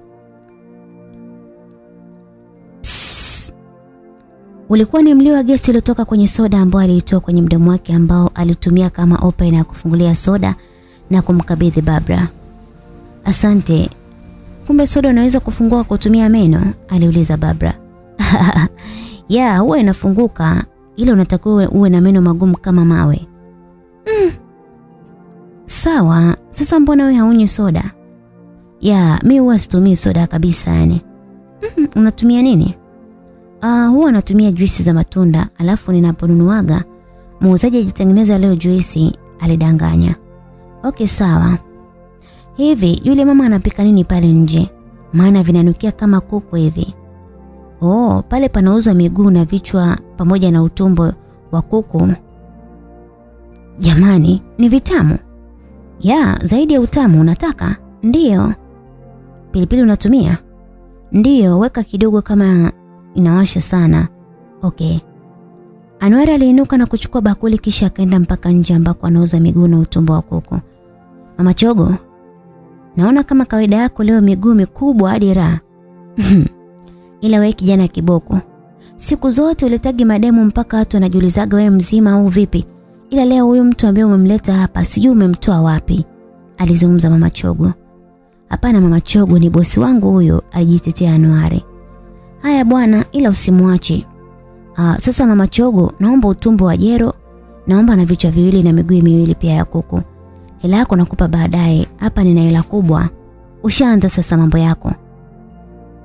Hela gani hiyo na chenji hapa mtaani? Au mwenzetu unatumia dola? Ana elfu kumi hapa bwana. Na wewe ndio kwanza unaanza biashara, nitakupa. Mimi sinipo machogo. Haya sawa. Ila wewe mwanaume, yani ule mrembo unamlisha miguu ya kuku jamani. Hebu nenda kanunue hata chipsi yai bwana na wewe. Tena kamnulia pale kwa mzee Mnyamani. Maana chipsi zake wanawake wengi tunazipenda. Ah, mama Chogo, em niwekee hivyo vitu kwanza bwana, ushauri peleka angaza. Aya bwana, unataka umtese mtoto wa watu, alafu huko akienda akaumwe na tumbo. Mama Chogo alichukua bakuli kisha akaweka vitu ambavyo aliambiwa aweke, akamwekea na pilipili kisha akapewa Anuari. Aliingia ndani kijana akaviweka vile vitu juu ya kitanda, akachukua maji kwenye bakuli kisha akamnaisha Babra. Karibu mgeni wangu. Asante. Babra alianza kula huku akiwa anasikilizia utamu wa vitu hivyo ambavyo vinaonekana ni vigeni machoni mwake. Kutokana na yeye alikuwa anaonekana ni mtoto wa kishua. Alimaliza kula huku akichushia na pepsi yake baridi. Jamani, kumbe vitamu sana. Nitakuwa nakuja kula mara kwa mara. Babra alionekana kupenda sana kile chakula. Yaani vitamu, hata mimi huwa nakulaga na ugali wangu muda mwingine. Oh, kumbe ni mnafanya kama mboga? Ndiyo. Okay, asante sana kwa ukarimu wako. Nashukuru nimekula vitu vitamu na pia nimepafahamu kwako. Ila usije ukanichoka tu maana nitakuwa mgeni wako mara kwa mara kufuata hivi vitu vitamu. Okay, sawa, hakuna shida. Anwar alijibu kisha wakabaki kimya kwa muda mfupi, wakibaki kutazamana tu kwa kitabasamu. Baada ya muda Baba alivunja ukimya ambao ulikuwepo kati yao. Ah, naona bora tukaondoka ili niwahi kukurudisha. Haya sawa tunzetu. Nje hali ilikuwa ni ile ile watu waliwashangaa sana, waliushangaa mno uzuri wa Babra mpaka anaondoka eneo hilo. Mada iliyokuwa mtaani hapo ni kuhusu huyo mrembo ambaye alimfuata Anuari na hii ilikuwa ni kawaida ya mitaa Uswahilini. Njiani walikuwa wakipiga stori mbalimbali, walitumia nusu saa kufika katika eneo ambalo Babra aliamua kumpeleka Anwari. Gari ilifikia kwenye geti la Utam Food Beach. Walitafuta parking kisha wakaenda kwenye eneo lililopo baharini huko. Kulikuwa na viti kwa ajili ya wateja wa eneo hilo. Wakiwa wanatembea kila mtu aliwaona alishangaa maana Barbara alionekana ni mtoto wa Matawi na Anwari alionekana ni sharobaro tu wa Uswahilini. Na wengi walijua ni Zari tu limemdondokea kijana huyo. Maana alikuwa ndani kabisa na Barbara. Alikuja mhudumu kisha akachukua oda yao na kuondoka na baada ya dakika tano kililetwa chakula ambacho aliagiza na kuanza kula. Stori hazikukauka huku Barbara ndiye ambaye alionekana kumchangamka sana wakati ule. Walipiga stori mpaka pale chakula chao kilipofika, walikula, walikunywa na pia waliweka oda ya take away kwa ajili ya Anuari maana alionekana kukipenda chakula cha pale. Stori ziliendelea mpaka walipoamua kukaa kimya kama dakika mbili hivi, huku kila mmoja akiwa na jambo lake kichwani. Haya maeneo yanavutia sana, haswa mida ya jioni kunaonekana kumepoa kweli yani. Alivunja ukimya Anwar baada ya kuona wanaangaliana kama jogoo. Ndiyo, yani huko kama unakuja na mpenzi wako mnatulia mnaongea mambo yenu hadi raha. Ah, nimekumbuka kitu. Anayekufuataga pale Bugurunisheli ni nani? Na kwa nini akufati kule chini? Yule mimi ni kaka yangu na ipo siku nitakutambulisha kwake. Na pia kuhusu kunifuata maeneo ya kule, huwa anaogopa, si unajua mazingira ya Uswahilini. Alafu ule mtoto ni wa mama, yani ni muoga sana mtoto wa mama. Mm, nilijua mumeo, maana watoto wazuri nyie bwana mkosi waume. Hapana bwana, mimi sina mume. We, wapunze tu watoto wa watu. Kuna msema mmoja huo unasema kwamba ukipenda wake za watu, penda na mafuta ya nazi. Ili hata siku ukifumwa basi mafuta unakuwa umeshazoea. Walicheka kwa pamoja, kiukweli walikuwa wamechangamka japo mionekano yao haikuwa ya tofauti sana. Baada ya kula walilipia bili yao na kuondoka eneo hilo. Ndani ya muda mfupi walikuwa wamefika maeneo ya Magomeni ambako walifikia kwenye duka la Azam Ice Cream. Hapo napo walienjoy ladha tofauti tofauti kisha wakaondoka zao kurudi majumbani mwao. Ila gari ilikuja kusimama Buguruni Sheli tena. Nitakuwa mchoyo wa fadhila nisipokushukuru kwa jambo hili ambalo umenifanyia zuri. Asante sana. Maana siku ya leo sikuwa na furaha. Kiukweli umeniondolea huzuni yote niliyokuwa nayo na kuniingizia furaha moyoni mwangu. Asante sana Babra. Alishukuru Anuari huku akimwangalia Babra huku akiwa ametabasamu tu. Usijali, ni kawaida pindi rafiki mpenzi au yoyote ule ambaye upo naye karibu ukagundua kwamba anapitia kipindi kigumu, basi inakupasa uwe, uwe naye bega kwa bega, maana wapo wanaojua, wapo ambao wanajua utu na ambao wajui Usijali, tupo pamoja Januari Alizungumza kwa mapozi Barbara si kama anaringa la Asha. Huyu mtoto ndivyo alivyo yani. Okay, sawa. Mimi nimeshafika. Wacha nielekee mwenyewe huko vichochoroni kwetu. Maana ukichelewa huko kuna vitu viwili. Uchague kimoja, ubakwe na wezi au ukabwe na sungusungu. Utachagua wewe mwenyewe. Alizungumza Anuari huku akisindikiza na kicheko hali ambao ilimfanya Babra naye ajiunge kucheka. Maana alikuwa akiofurahia uwepo wa Anuari pale. Ah, Anuari una maneno sana. Yaani sikufichi nafurahi sana kuwa karibu na wewe. Yaani unanitoaga stressi. Maana una maneno sana wewe. Okay. Nina mzigo wako sijui niliweka wa Alizungumza Barbara huku akitafuta kitu katika sehemu za kuhifadhia vitu ndani ya gari. Kisha baada ya kukosa kwenye zile draw aliupitisha mkono kwenye siti za nyuma ambako kulikuwa na mwanga hafifu sana. Baada ya sekunde tano alitoa mfuko mmoja mkubwa kiasi na mmoja mdogo akamkabidhi Anuari. Alipokea ule mfuko ambao umefungwa vizuri bila ya kuonyesha ndani yake kuna nini. Huku akiwa hajui kabisa ndani kuna nini. Ilimbidi atulie tu akaufungulia nyumbani kwake maana sio tabia njema kupewa kitu na kukifungua papo hapo. Asante sana. Mimi naomba nikuage tutowasiliana basi. Aliaga Anuari. Sawa, ufike salama. Nawe pia kuwa makini barabarani. Okay. Anuari alishuka kwenye gari huku mkononi akiwa na mifuko miwili. Mmoja alikuwa mbeba chakula na mwingine atakuja ndani yake kuna nini. Akaanza kukatiza vichochoro na zilitumika kama dakika chache tu mpaka kufika kwenye nyumba yake ambayo alipanga. Mlangoni alikuwepo mama Ana pamoja na wapangaji wengine wawili ambao walikuwa wakiongea umbea wao. Japo muda ulikuwa umeenda alikuwa yapata saa nne kasoro, lakini bado watu wapo kama ndio jua limezama vile. Anwar alitembea mpaka mlangoni lakini alipokelewa na mama Ana. "We kijana, naona tunataka kuzoeana." Si ndio eh? Kwa kwa nini mama Ana? Alijibu kwa kubabaika maana mama huyo hakuwa na dogo na usiombe ya kuchambe. Kutaka kutuleza giza ndo nini? Ningekuwa sina kiakiba changu, si tungekuwa tume tumelewa majasho huko ndani. Tena siku nyingine nitakuwa nachukua hela kabla ya umeme kuisha. Maana naona kabisa mnataka kunipanda kichwani. Si mkajenga majumba yenu mlale giza. Au kama utaki kutoa hela ya umeme, nyumba zipo nyingi tu za udongo. Kodi mpaka elfu kumi jamani. Kwani lazima kila mtu akae kwa maana? Kabla ya kumaliza kuongea Noara alitoa pesa mfukoni mwake na kumkabidhi mama Ana. Kisha akapandisha ngazi ambazo zilikuwa hapo kibarazani na kuanza kuondoka. Nyuma alisikia sauti ya mama Ana. Haya ndio mambo. Hmm? Halafu nasikia harufu ya vitu vitamu vitamu. Sekela sio sekela, mishikaki sio mishikaki. Hebu tuonje. Alizungumza mama Ana ambaye alikuwa haiwezi roho yake haswa kwenye mambo ya kula kula. Lakini anuari alileta ukauzu na hakutaka kukaa pale nje. Alinyoosha mpaka chumbani kwake kisha akaweka vitu vyake kwenye kimeza kilichopo mule chumbani. Alikwenda kujimwagia maji kutokana na kwamba alikuwa ametoka safari. Wakati anarudi alikuta simu yake imeingia ujumbe. Alitazama nani ambaye ametuma hakuwa mwingine isipokuwa ni Barbara. Alikuwa akimpa taarifa kwamba amefika nyumbani kwa usalama. Alipotaka kujibu ndipo akakumbuka ule mzigo aliopewa na Barbara, alichukua kisha akaufungua. Ndani kulikuwa na boksi na bahasha. Boksi ambalo nje kulikuwa na picha ya simu.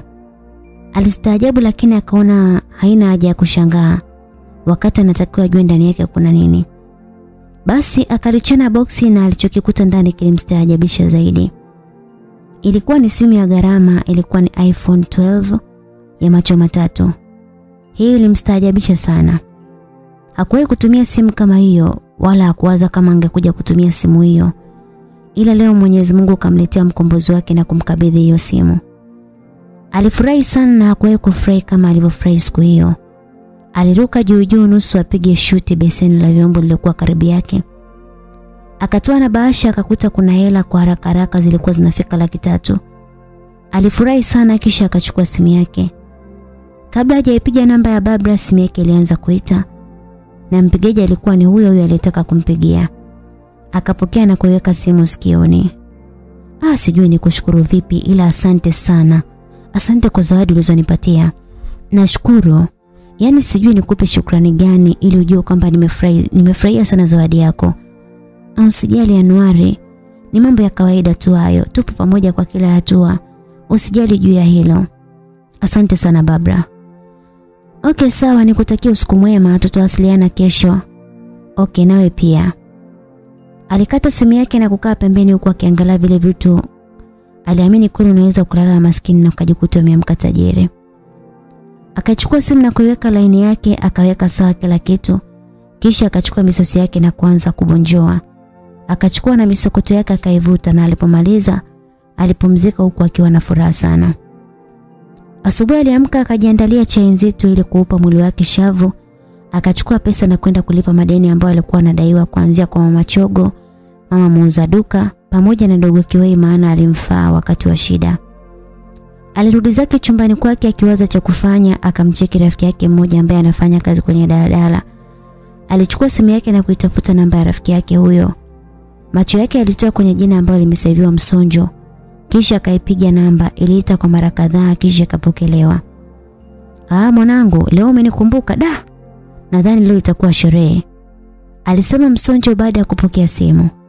"Acha ndugu yangu, ni majanga juu ya majanga." Alilalamika Anwari. "Ah, kwa nini tena kaka? Ushatia mwanafunzi mimba nini? Maana jamaa uchelewi wewe na kujua sana pacha." "Ah, kaka Msonjo, bora ingekuwa mimba ningelea. Eh bwana." Mimi sasa hivi sina kazi kabisa, yani nipo tu.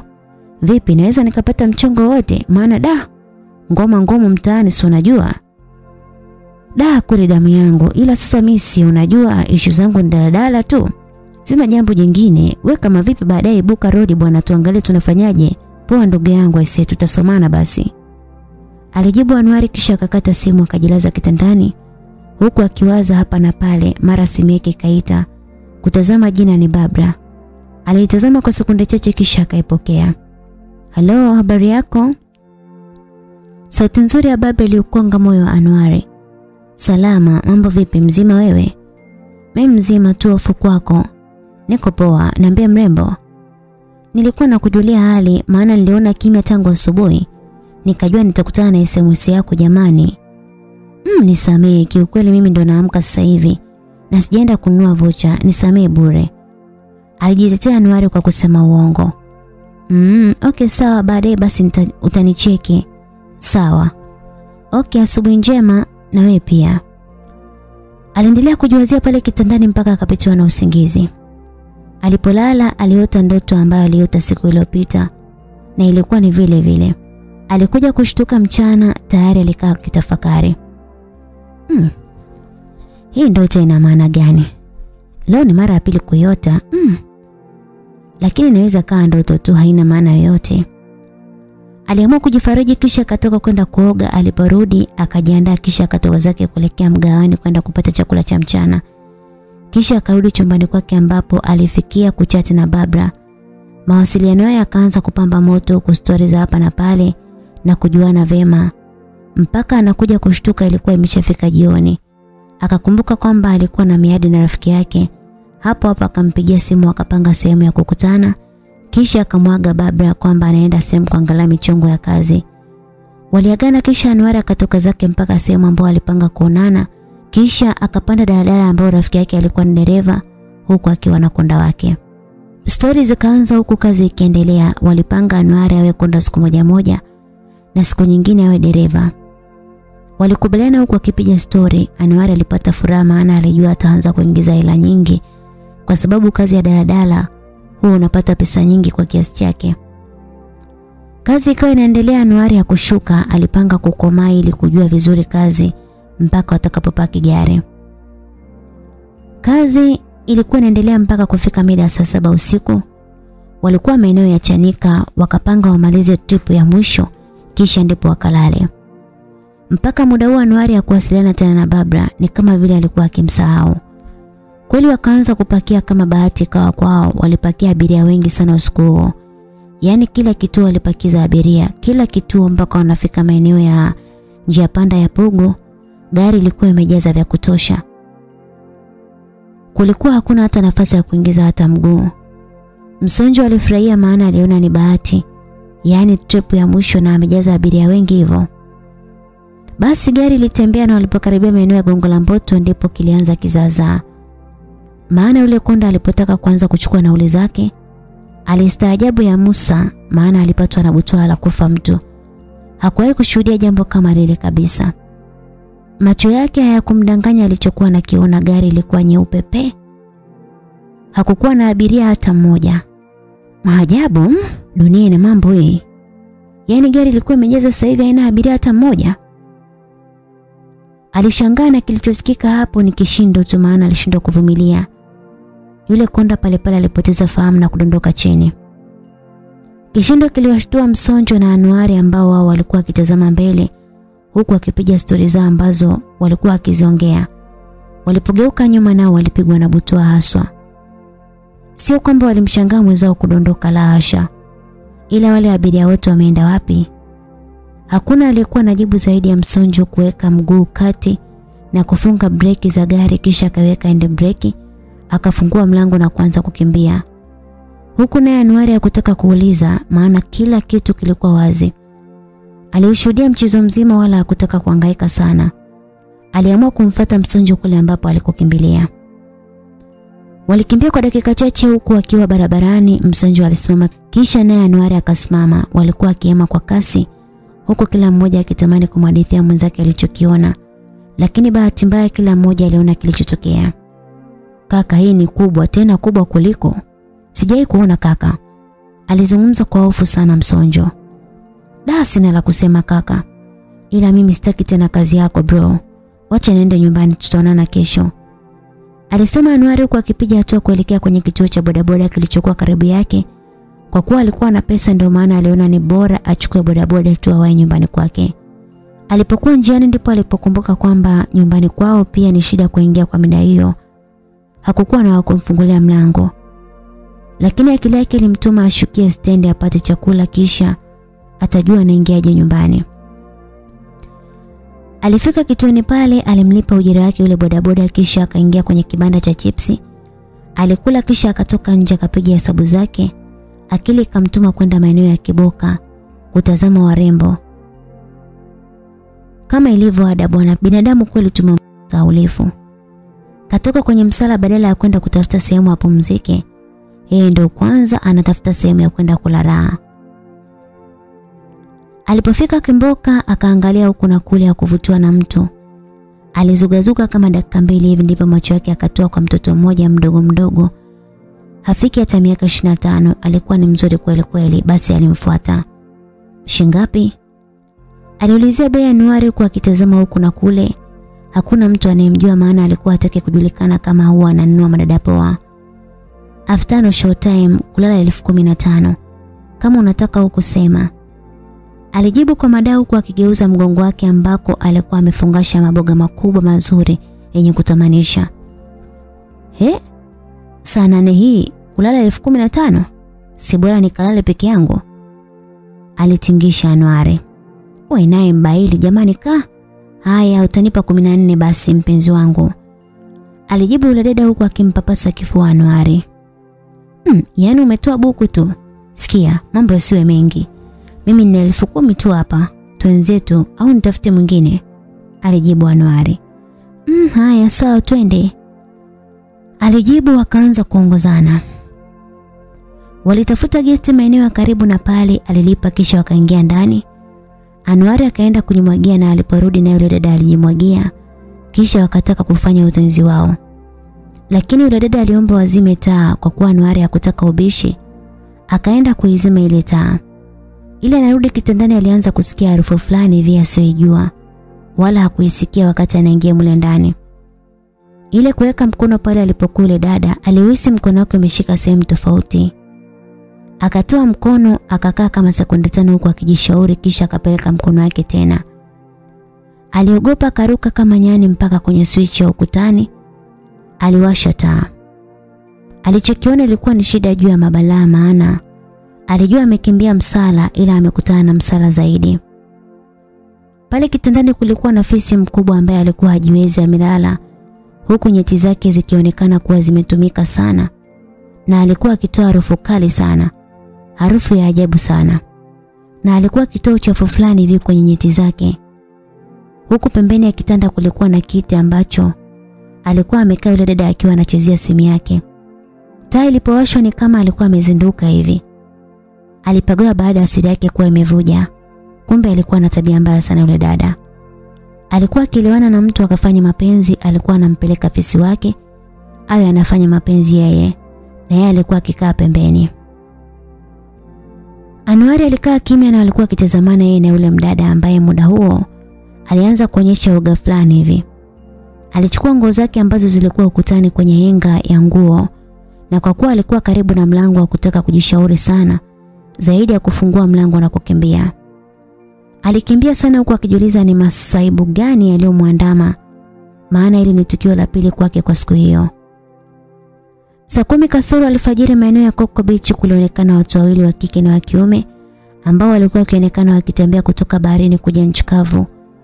Mmoja alikuwa ni wa kike na mwingine wa kiume lakini cha kustaajabisha walionekana kutokea kwenye maji lakini nguo zao zilikuwa kavu yaani hazina hata tone la maji. Walitembea wakija nchi kavu huku giza bado likiwa limeshamiri na kuwafanya wasionekane sura zao vizuri. Nilikwambia dada, huyu hafai kuwa na wewe. Wanajisahau sana. Bora ungekubali kuolewa na Simba, maana alikuwa akikupenda sana. Na pia unajua kwamba ndio mkuu wa majeshi. Alizungumza yule kijana wa kiume. Hapana, amepitiwa tu. Alijibu yule wa kike kwa kifupi. Unapenda kumtetea huyo? Bora ungemwacha akafanya mapenzi na fisi. Alijibu kijana. Uwezo ulionao sio wa kukandamiza watu, ni kusaidia watu, tumeelewana? Alijibu mwanamke yule kwa ukali sana. Walitembea bila ya kusemezana huku akianza kupotelea mitaani. Asubuhi kama kawaida kulikucha na makucha yake midaiwa Anuari alikuwa akijikongoja kurudi nyumbani baada ya kupata majanga usiku mzima. Alifika kwenye nyumba anayoishi, alifikia kitandani na kulala maana mawazo yalimzonga mpaka akajikuta akipitiwa na usingizi. Kama kawaida alipolala aliota tena ile ndoto na leo ilikuwa ni siku ya tatu tangu aanze kuiota ndoto hiyo ambayo mara zote anakuwa na mtoto mzuri ndotoni. Huku upande mwingine anaonekana Msonjo akiwa anahangaika katika kibanda cha mganga kilichopo katikati ya pori la Vikindu. Zilisikika sauti za mzee huyo akiimba huku akipiga manyanga yake. Msonjo alipofika alivua viatu nje kisha alichukua kaniki kuukuu ya rangi nyeusi akajifunga begani kisha akapiga hodi mara tatu. Alionekana ni mzoefu sana wa eneo hilo. Karibu, karibu mjukuu wangu. Ilisikika sauti ya kizee kutoka ndani ya kibanda. Asante babu, nimekaribia. Alijibu Msonjo kisha alifungua pazia la kilingi akaingia kinyume nyume kisha alipozama ndani akageuka akakutana na babu kizee ambacho kimejivisha vifaa vya kiganga mwilini mwake. Alikuwa na tunguli ndogo kifuani mwake ikining'inia. Pia alikuwa na irizi tatu kubwa ya rangi nyekundu ambayo alijifunga mkono wa kulia, ya rangi nyeupe ambayo alijifunga mkono wa kushoto na nyeusi ilikuwa ikining'inia kifuani. Pia alikuwa ameshika pembe mkononi mwake katika mkono wake wa kushoto na upande wa kulia wa mkono wake alikuwa ameshika usinga. Alizungukwa na madawa ya kila aina. Msonjo alikaa kwenye ngozi ya mnyama ambayo ilikuwa ikitoa kiarufu fulani hivi. Na ukichanganya ile harufu ya madawa palikuwa hapakaliki. Lakini Msonjo wa kujali alikaa zake bila wasiwasi. Najua shida yako mjukuu wangu, kazi zako zina mtihani mingi. Ila lile jambo halikukulenga wewe wala kondakta wako. Ila lilimlenga mwenzenu ambaye alikuja kwenye gari yenu. Aliweka kituo huku akipiga manyanga yake kisha akachukua kibuyu chake, akachukua dawa akampaka Msonjo kisha akamwambia kwamba angalie ukutani. Msonjo akaanza kuona matukio yote bwana. Kumbe walikuwa akifika kwenye kituo kukuwa na abiria, ila kulikuwa na viumbe vya ajabu vidogo vidogo kama vibwengo. Ila wao waliona kuna abiria wakawa wanasimamisha wanapakia mpaka wakatuweka katika mazingira ya kutatanisha. Msonjo alipoona hivyo akataka kuongea kitu, mganga akamwambia atulie kwanza. Bado picha linaendelea. Alitina kwanza kuangalia tena. Akaanza kumwona Anwari akiwa anaenda kuchukua kahaba wa kwenda kulala naye. Akaona mpaka alipokuwa anataka kufanya ngono na fisi, mpaka alipokimbia ndipo ilipoishia. Msonjo alibaki kuduaa asijue ili wala lile. Alimtazama mganga ambaye alikuwa akiendelea kuimba nyimbo zake za kiganga. Akachukua usinga na kumpiga nao Msonjo usoni kumtoa ile dawa kisha akazungumza. Umeona kilichotokea? aliuliza mganga. ndio babu Tawire, alijibu Msonjo. Sasa basi, huyo mwenzenu ana kiumbe kimempenda, sio kibaya, ni kizuri tu, ila sio binadamu, ni jini ambaye anakaa bahari ya Shamu. Mambo mengine usitake kuyajua, maana hayakuhusu, ila mwambie rafiki yako kwamba awahi kujitibia.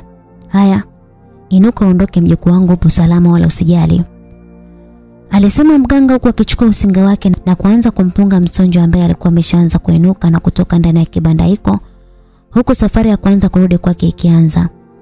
Alipanga mtafuti Anuari kisha ampe taarifa hiyo. Alikuja kushtuliwa na mlio wa simu yake ambayo ilionekana kuita kwa muda mrefu huku yeye mwenyewe akiwa kwenye usingizi mzito ambao uliambatana na uchovu wa kukesha na kukimbizana.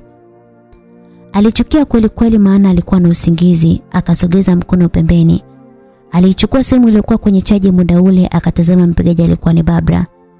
Alikuja kukumbuka tangu jana hakuwa akiwasiliana naye kabisa. Alijikuta mjinga sana maana kwa mtu mwenye shukurani alitakiwa awe anamtafuta na kuwasiliana naye. Alijiona mkosefu sana na alipokea simu ile na kuiweka sikioni. Halo, mambo mzima wewe? Yaani nilitaka nikupigie sasa hivi ile umeniwahi jamani. Alizungumza Anuari huku akidanganya. Mm, mzima. Mi mzima, sijui wewe. Alijibu mrembo Barbara. Niko poa, niambie mrembo. Tangu jana unanikalia kimya kwa nini? Ah, we acha tu, niliingia kwenye kazi sehemu ndo nimerudi asubuhi hii. Oh, haya. Kwa hiyo kazi umepata? Ah, hapana bwana, kazi ngumu sana. Hmm, jamani, mwanaume hataki kuchagua kazi. Ah, wewe hujui kitu. Yaani kazi ya daladala inachosha sana. Sawa basi, wewe jiandae leo tunatoka. Hmm, hii mitoko watu wataniona na hela kumbe kapuku najua. Hapana bwana jamani, au utaki? Ah, mimi tena nikatae? Nitakuwa mjinga yani. Kwanza unanipeleka sehemu nzuri, pia natembea na piskali, pisi ya kwenda. Kila mtu anatamani nafasi. Alijibu kwa mbwembwe sana. Sawa, basi kama kawaida nitakufuata maana nimesha pamisi huko. Nimemisi vile vitu ambavyo nilikula siku ile. Haha, usijali, nitakunulia kama kawaida. Okay, bye. Hmm, kwani huyu manzi anataka nini kwangu? Mbona mzuri tu anaweza kupata watu wenye hela huko lakini anakuja kuangaika na mimi huko Swahilini. Au zari limendondokea? Aliwaza Anuari baada ya Babra kukata simu. Akiwa katika dimbu la mawazo alishtuliwa tena na mlio wa simu yake. Alitazama kwenye kioo mpigaji aliyokuwa ni rafiki yake Msonjo. Akaanza kukumbuka matukio ya jana ambayo alimwogopesha kwa kiasi chake. Iliita mpaka ikakata kisha kaita tena na ndipo alipoamua kupokea na kumsikiliza mpigaji ambaye alikuwa ni rafiki yake. Oya mwanangu kama kawa? Alisalimia Msonjo. Kama kawaida nipange mwanangu. Da mwanangu nimetoka kwa mtaalamu hapa. Kuhusiana na lile jambo la jana. Ilibidi niende kwa mtaalamu ili nijue imekuwaje mpaka tukakutana na msala ule. Eh, ikawaje? Mm, mambo ni mazito ndugu yangu, tena mazito sio kidogo. Yaani fanya mpango tuanane nikupe mkanda mzima ulivyo. Sawa basi mimi kuna sehemu naenda baadaye nikitoka nitakutafuta tuonane. Tutaonana leo au kesho. Basi sawa utanipangilia ila hakikisha tunaonana bwana kaka. Ni muhimu kwako. Oh, sawa kaka. Alijibu Anwari kisha akakata simu. Alikaa akiwaza tena maana ni kama aliondoa furaha ambayo ilikuwa mwanzo. Alitaka kujua ni kitu gani ambacho ameambiwa Msonjo na huyo mtaalamu wake.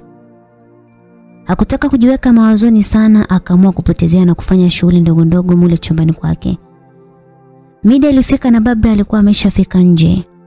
Anwari akaenda kumpokea kisha akaingia naye mpaka ndani. Kama kawaida maisha uswalini wengi walikuwa na maswali kuhusu huyo mrembo na kijana wa hapo mtaani ambaye ni Anwari.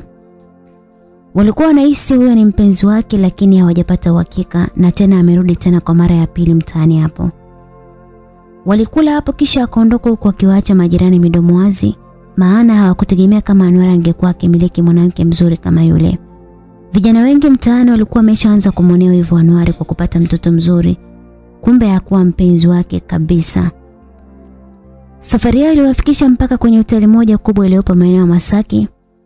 Walikula chakula cha mchana kisha wakaendelea kuzunguka maeneo tofauti tofauti mpaka inafika mida ya saa tatu usiku walijikuta katika hoteli ya Hyatt Legends iliyopo maeneo ya Posta. Waliagiza chakula katika mgao unaopatikana katika hoteli hiyo huku Anuari akiwa ni mwenye kushangaa na kufurahia eneo hilo maana ilikuwa ni mara yake ya kwanza kuja katika hoteli hiyo yenye hadhi ya nyota tano. Leo nitakupeleka kwangu ukapajue au unaonaje? Aliuliza Babra huku akishushia glasi ya juisi. Mm, mtihani huo. Kwa nini jamani nasema mtihani? Naogopa kufumaniwa. Amna bwana hakuna kukufumania, niamini hilo. Na pia ni nyumba ambayo nimechukua juzi juzi tu. Kwa kuwa na amani. Sawa baba. Mm, sawa. Walikula walipomaliza wakaondoka zao na safari yao ikafikia maeneo ya Kigamboni pembezoni kabisa mwa bahari. Kulikuwa na nyumba moja kubwa sana ambayo inavutia kwa kila anaitazama. Ilikuwa ni nyumba ya ghorofa moja yenye fensi kubwa sana. Walifika getini, Barbara akatoa remote akafungua geti kisha gari ikazama ndani.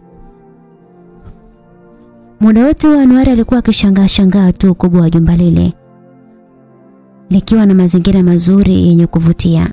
Kulikuwa na bustani ambayo imepangiliwa vema na pia kulikuwa na vibanda vya kupumzika na kulikuwa na bwawa la kuogelea pia. Karibu sana Anwari. Asante sana. Hii ndio nyumba yangu, kuwa huru. Hakuna aliyewahi kufika hapa zaidi yako. Wacha nikutembeze uifahamu vizuri. Waliongozana kuizunguka nyumba yote ilikuwa ni nzuri lakini Anuari akawa anajiuliza ni kwa nini amuonyeshe. Alijipa moyo labda alitaka kumpa motivation ya utafutaji. Twende pale tukakae tuongee kidogo, alisema Babra. Sawa. Alijibu Anuari huku akianza kupiga hatua zao fupi fupi. Walifika kwenye kibanda cha kupumzikia ambacho kinapatikana katika bustani ile. Kisha Babra akainuka kwenda kuchukua vinywaji ndani. Dakika hazikumalizika alikuwa amesharudi. Anwari hakuwa na hili wala lile, alipokea juisi yake kisha akawa anakunywa taratibu huku akimtazama mwenyeji wake. Anwari, niambie Babra. Naomba leo nikwambie ukweli. Alizungumza mwanamke huyo huku akijiweka sawa. Ukweli gani tena? ukweli kati yangu mimi na wewe. Mhm. Mm Um, leo nimeona ni bora niseme ukweli tu. Kiukweli Anuari umekuwa ni mtu tofauti kwangu tangu siku ya kwanza na kuona. Kunisaidia kwako kwa kazidi kunifanya ni kuona wa tofauti. Na ndio maana nikawa nimeanza ukaribu na wewe. Lakini kila nikikaa kimya nahisi kujitesa na kwa nini nijitese ikiwa muhusika upo? Aliweka kituo huku akiacha maswali mengi sana kichwani mwa Anuari. Kivipi Babra? Um, nakupenda Anuari. Una nipenda? Alipatwa na kigugumizi maana hakufikiria kama mtoto mzuri kama yule angekuwa amemzimikia. Ilikuwa bahati kwake japo alimpenda kwa kiasi fulani, lakini hakujipa matumaini ya kummiliki mrembo huyo. Ndiyo nakupenda Anwari. Nahitaji uwe mpenzi wangu ikiwezekana. Uje kuwa mume wangu hapo baadaye. Tafadhali Anwari. usinione malaya kwa kuleta hisia zangu kwako. Lakini nimeshindwa kabisa kuvumilia. Nahitaji upendo wako na mimi nipate kuenjoy raha za dunia. Tafadhali mfalme wa moyo wangu nikubalie nijione mwenye bahati kimapenzi. Aliongea Babra huku akiinuka kwenye kiti chake na kusogea karibu na Anuari. Alisimama mbele yake kisha akamkalia mapajani, akajipakatisha kwa Anuari. Muda huo Anuari alikuwa amepatwa na bombowazi bomboazi juu ya nini. Maana ilikuwa ni furaha sana kupendwa na mtoto mzuri, lakini pia ilikuwa ni mshangao kupendwa na mtoto mzuri kwa upande wake. Alibabaika sana pale walipokuwa huku Babra akiwa anamtazama kwa mapozi. Anuari, naamini wewe ndio utakuwa mwanaume wangu wa kwanza na wa mwisho. Tafadhali nikubalie na nitahakikisha hakuna jambo litakalokwama ukiwa na mimi. Nitakubadilishia maisha Anuari, nitakufanya uwe mtu wa kuheshimika. Tafadhali naomba unikubalie niwe mpenzi wako. Najua nimevuka taratibu, mwanamke hana desturi ya kutongoza. Ila mimi hisia zangu zimeshindwa kujizuia na kuamua kujiweka wazi mbele yako. Nakupenda. Maneno yalikuwa mazito na kwa jinsi Anuari alivyolainishwa maneno matamu, utadhani yeye ndo mwanamke maana alikuwa amebona kona zote. Alijikuta akizungumza. Nimekuelewa. Tutajua nini cha kufanya. Hey jamani mimi sitaki kusubiri. Nahitaji jibu langu hapa hapa Anwari. Nimeshasubiri vya kutosha lakini kusema ukweli nitashindwa kusubiri jibu. Naomba niambie tu hapa hapa kama upo tayari kuwa na mimi ama la. Anuari alikaa akiwaza takriban kwa dakika tatu huku akimtazama Babra kama vile anampima. Mm, nisipokuwa makini naweza kuingia kwenye mtego bila ya kujua. Inanipasa kumchunguza vema huyu mwanamke. Asije kunitafutia balaa la kubakwa na matajiri. Lakini ni mzuri sana. Kila mwanaume anatamani. Kwa nini anipende mimi kapuku ambaye ni similiki hata baskeli? Mm? Ila sawa, wacha nimkubalie. Huenda akawa yupo singo anataka mtu wa kumwoa. Nisije kupiga teke fuko la hela. Aliwaza Anuari kisha akajiweka sawa kwa lake, akamtazama tena Babra kisha akazungumza. Sawa nimekuelewa. Nipo tayari kuwa na wewe. Kweli? Ndiyo mpenzi. Oh my god. Siamini jamani kama umenikubalia mwanaume wa maisha yangu. Thank you so much. Aliongea kwa furaha huku akimpiga mabusu usio na idadi. Alioga mabusu ya kutosha siku ya Januari. Usijali my love. Um, naomba nikuambie mambo mawili. Najua kwa sasa bado hauko sawa kiuchumi. Ila nitahakikisha unakuwa sawa, hilo ni moja. Alafu jambo la pili, na kuomba uwe mkweli na mwazi kwa kila jambo. Uaminifu ni muhimu sana. Nina wivu. Yaani kama unataka uone mtu anakufa mbele ya macho yako, basi ni saliti. Sikutishi ila nakwambia ukweli. Moyo wangu umekuchagua wewe, kwa hiyo kuwa makini mme wangu, alisema Barbara. Ah, kuhusu ile wala usijali, nitakupenda, nitakujali, nitakuthamini, nitakupa kila aina ya furaha. Mwenyewe utaenjoy. Alijibu Anuari na kumfanya Barbara azidi kumpenda. Alimtazama Anuari kisha akasogeza lipsi zake wakaanza kunyonyana ndimi zao kama njiwa. Mchezo ukawa mchezoni, yaani walidumu kwa dakika kadhaa huku kila mmoja akianza kupata shida. Maana wamelamba asali sasa na wanataka kuimaliza kabisa mzinga. Babra alikuwa tofauti, alianza kuwa mkundu kwa hamu. Huku mikono ya Anuari haikukaa kinyonge, ilikuwa ikitalii kwenye mwili wa Babra na kumfanya azidi kusisimka. Tu, tu, twende twende ndani mpenzi. Alizungumza kwa shida sana Babra. Anuari ya kuongea akambeba Babra mpaka chumbani akamlaza kitandani. Akaanza kumtomasa Babra huku akimtazama usoni. Laiti ungemuona huyo mrembo alivyokuwa akihangaika hapo kitandani, ungemuonea huruma. Alianza kumpa rau huku akichojoa nguo zao wakabaki kama walivyozaliwa. Mwili wa Babra ulikuwa ukivutia sana na kutia hamasa ya kufanya mapenzi. Anwari alimwandaa Babra vya kutosha mpaka alipohakikisha amelainika vizuri na yupo tayari kwa ajili ya mapambano. Anwari alichukua bastola yake aliikuwa kivema akataka kuanza mashambulizi. Akazuiwa. Subiri, alisema Babra. Mm, jamani mpenzi, nini tena? Mimi sijawahi kufanya, tafadhali na kukabidhi mwili wangu naomba uheshimu na uthamini. Ukienda tofauti na hayo utakuwa umenikosea na sitakuwa radhi na wewe. Usijali mpenzi. Naomba mkoba wangu. Alimwambia Anuari akainuka kitandani na kuufuata mkoba kisha akamkabidhi. Baba aliupokea na kuingiza mkono wake kwenye mkoba kisha akatoka na kichupa cheusi. Akakifungua akakimimina kwenye mkono wake ilikuwa ni mafuta. Yalikuwa ni kama mafuta meusi yenye harufu fulani ya madawa ya asili. Ni nini? Aliuliza Anuari kama alikuwa haelewi kitu. Hii ni dawa huwa tunatumia watu wa ukoo wetu ambao bado ni mabikra. Yaani ukitaka kufanya mapenzi na kama ni bikra lazima utumie hii ili iwe rahisi kuingia na kuzuia maradhi mbalimbali. Oh, okay, sawa. Naye Babra baada ya kumimina mkononi alimpaka Anwari katika uume wake kisha naye akajipaka huku akizungumza maneno fulani ambayo Anwari hakuyaelewa. Baada ya sekunde chache Anwari alivutwa kifuani kisha Babra akachukua bastola ya Anwari na kuilengesha katika ikulu yake. Anwari alijua nini kinafuata kuwa mzembe. Alianza kufanya mambo yake taratibu. Anuari alijua nini kinafuata kuwa mzembe, alianza kufanya mambo yake. Na kweli alijionea kwamba Babra alikuwa na usichana wake na hapo ndipo alijawa na furaha. Kisha akawa tayari kuzichana nyuzi za Babra. Akajiseti vizuri kisha akafanya mashambulizi ambayo yalipasua ngome ya Babra na kumfanya kutokuwa msichana tena. Ila kitendo kile kilipokelewa na sauti za kuogopesha sana. Kwanza ilisikika kelele moja ambayo ilitaka kumpasua Anwari ngoma za masikio yake na kumfanya Anwari asimamishe alichokuwa anakifanya na kuamua kuziba masikio. Zilisikika kelele za ajabu sana, ilitokea mingurumo ya ajabu sana. Simba sio simba, radi sio radi. Ilikuwa ni tafrani usiku huo. Baada ya kuzipisha kelele, Anuari alianza kusikia raha ya ajabu. Kumbe mtoto wa kike alikuwa akianza kukata kiuno chake. Alipata raha za ajabu sana. Babra alikuwa mtamwaswa.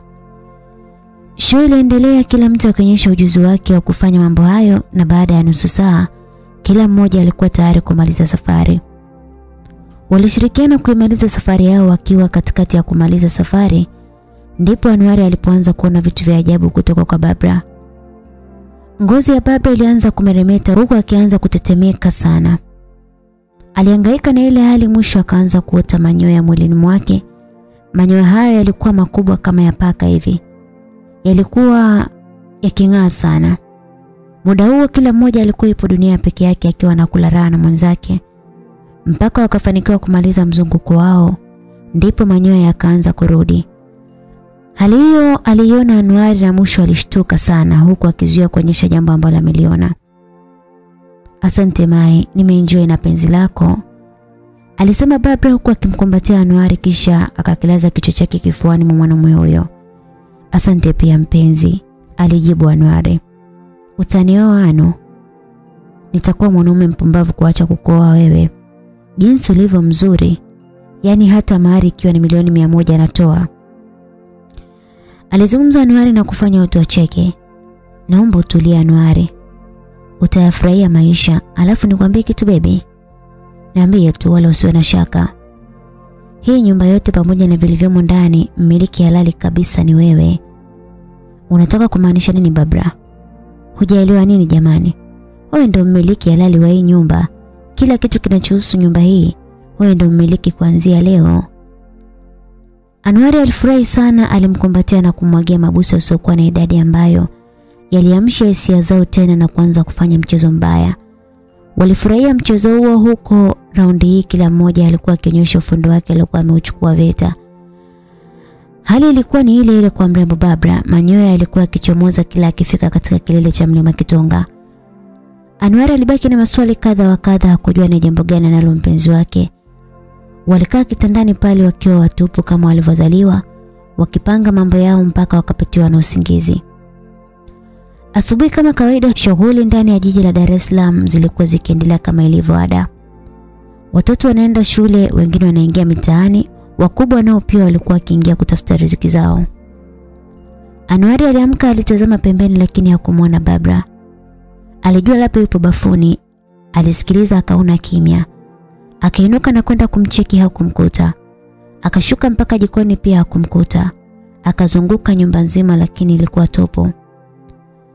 Alikuwa peke yake akarudi chumbani kwake kwa bahati nzuri. Alitupia macho pembeni ya kitanda alikuta karatasi ikiwa chini na juu yake kukiwa na bunda la pesa taslim. Akaweka pembeni pesa akaichukua karatasi ambayo ilikuwa imeandikwa ujumbe mzuri tu. Natumai umeamka salama. Mimi nimepata safari ya ghafla. Nitarudi baada ya siku tatu. Kwa hiyo utatumia hizo pesa kwa mambo yako madogo madogo mpaka nitakaporudi. Nakupenda my love. Alipomaliza kusoma wa ujumbe alitabasamu kisha akainuka kwenda kujiandalia kifungua kinywa. Yaani hii nyumba ilikuwa na kila kitu. Anuari hakutegemea kama maisha yangebadilika haraka hivi. Huwa analala kwenye chumba kidogo. Leo yupo kwenye jumba kubwa lenye kila kitu ndani yake. Alipokuwa anajiandalia kifungua kinywa, alikumbuka simu yake na kwenda kuitazama kama kuna mtu alipiga. Alishangaa kukuta missed call nyingi kutoka kwa Msonjo. Ilimbidi ampigie, alimwomba msamaha kwa kutokumtafuta, wakapanga onane Buguruni. Alipomaliza alikwenda kuoga kisha akatoka zake na kuelekea Buguruni alikopanga. Alipofika akachukua vitu vya muhimu kwake, maana alijua anapakupeleka vitu hivyo ambavyo vimebaki. Muda mchache alifika Msonjo, wakasalimiana kisha akamwambia asubiri kwanza aweke vitu vyake sawa. Watazungumza nje hapo. Baada ya kumaliza kupakia vitu vyake muhimu kwenye begi la mgongoni, wakati wanatoka nje alikutana na mama Ana kama kawaida. Wamama wa Uswahilini bwana, hata kama jambo limepita basi atalifufua tu. Mhm, naona umehamia kwa Mwarabu. Alisema mama Ana huku akifunga tenge lake vizuri. Anuari ya hakutaka kumjibu mama huyo maana anamfahamu fika na mdomo mchafu kama karo la choo. Akianza kubata hapo ni mpaka jioni. Wao wakatoka wakimwacha mama huyo akiongea peke yake. Haya bwana. Maskini akipata mata kulia mbwata. Alizungumza wa maana kisha akazama chumbani kwake. Anuari na Msonjo walitembea mpaka kwenye kituo cha daladala kisha wakapanda gari mpaka mjini. Walifanya manunuzi huku Msonjo akiwa kimya akiangalia safari yao inaishia wapi. Baada ya kumaliza kufanya manunuzi, Anuari akachukua Bolt ambayo iliwachukua mjini na kwenda kuacha kwenye geti la nyumba ambayo alikabidhiwa masaa machache nyuma. Oya, wapi huku tunaletana? Unataka tupigwe risasi au? Aliuliza Msonjo. Acha mambo yako wewe. Anuari alijibu huku akitoa remote ndogo mfukoni mwake kisha akakibonyeza na geti likafunguka akaingia ndani. Uzuri wa jumba lile bwana haukumwacha salama Msonjo. Alikuwa akishangaa sana akamtazama rafiki yake akamuuliza, "Oya ndugu, vipi? Umeanza kuwa isboy wa nyumba za watu? Sasa si bora tu tukakomae rodi tu mshikaji." Ha, asubuhi nani wewe? Hem twende ndani. Anwari aliongoza mpaka sebuleni, alimkaribisha rafiki yake kisha akaenda chumbani kwake. Alibadilisha nguo na kurudi chini ambapo alimwacha rafiki yake. Kisha akanyoosha jikoni baada ya dakika chache. Alitoka na glasi mbili za juisi akamkabidhi rafiki yake glasi moja na yeye akabaki na moja. Karibu sana ndugu yangu. Alizungumza Anuari na kuanza kupiga mafunda ya juisi. Msonjo alikuwa akimtazama rafiki yake tu anashindwa kummaliza. Ndugu yangu tuambieni ukweli basi, nini kinaendelea? aliuliza Msonjo. Mm, itakuwa si vizuri kaka, ni bora tuanze na wewe. Ni kipi ambacho kilitokea kwa mtaalamu jana? Maana uliniambia kwamba kuna mambo mazito. Da, na nilikuwa nishasahau.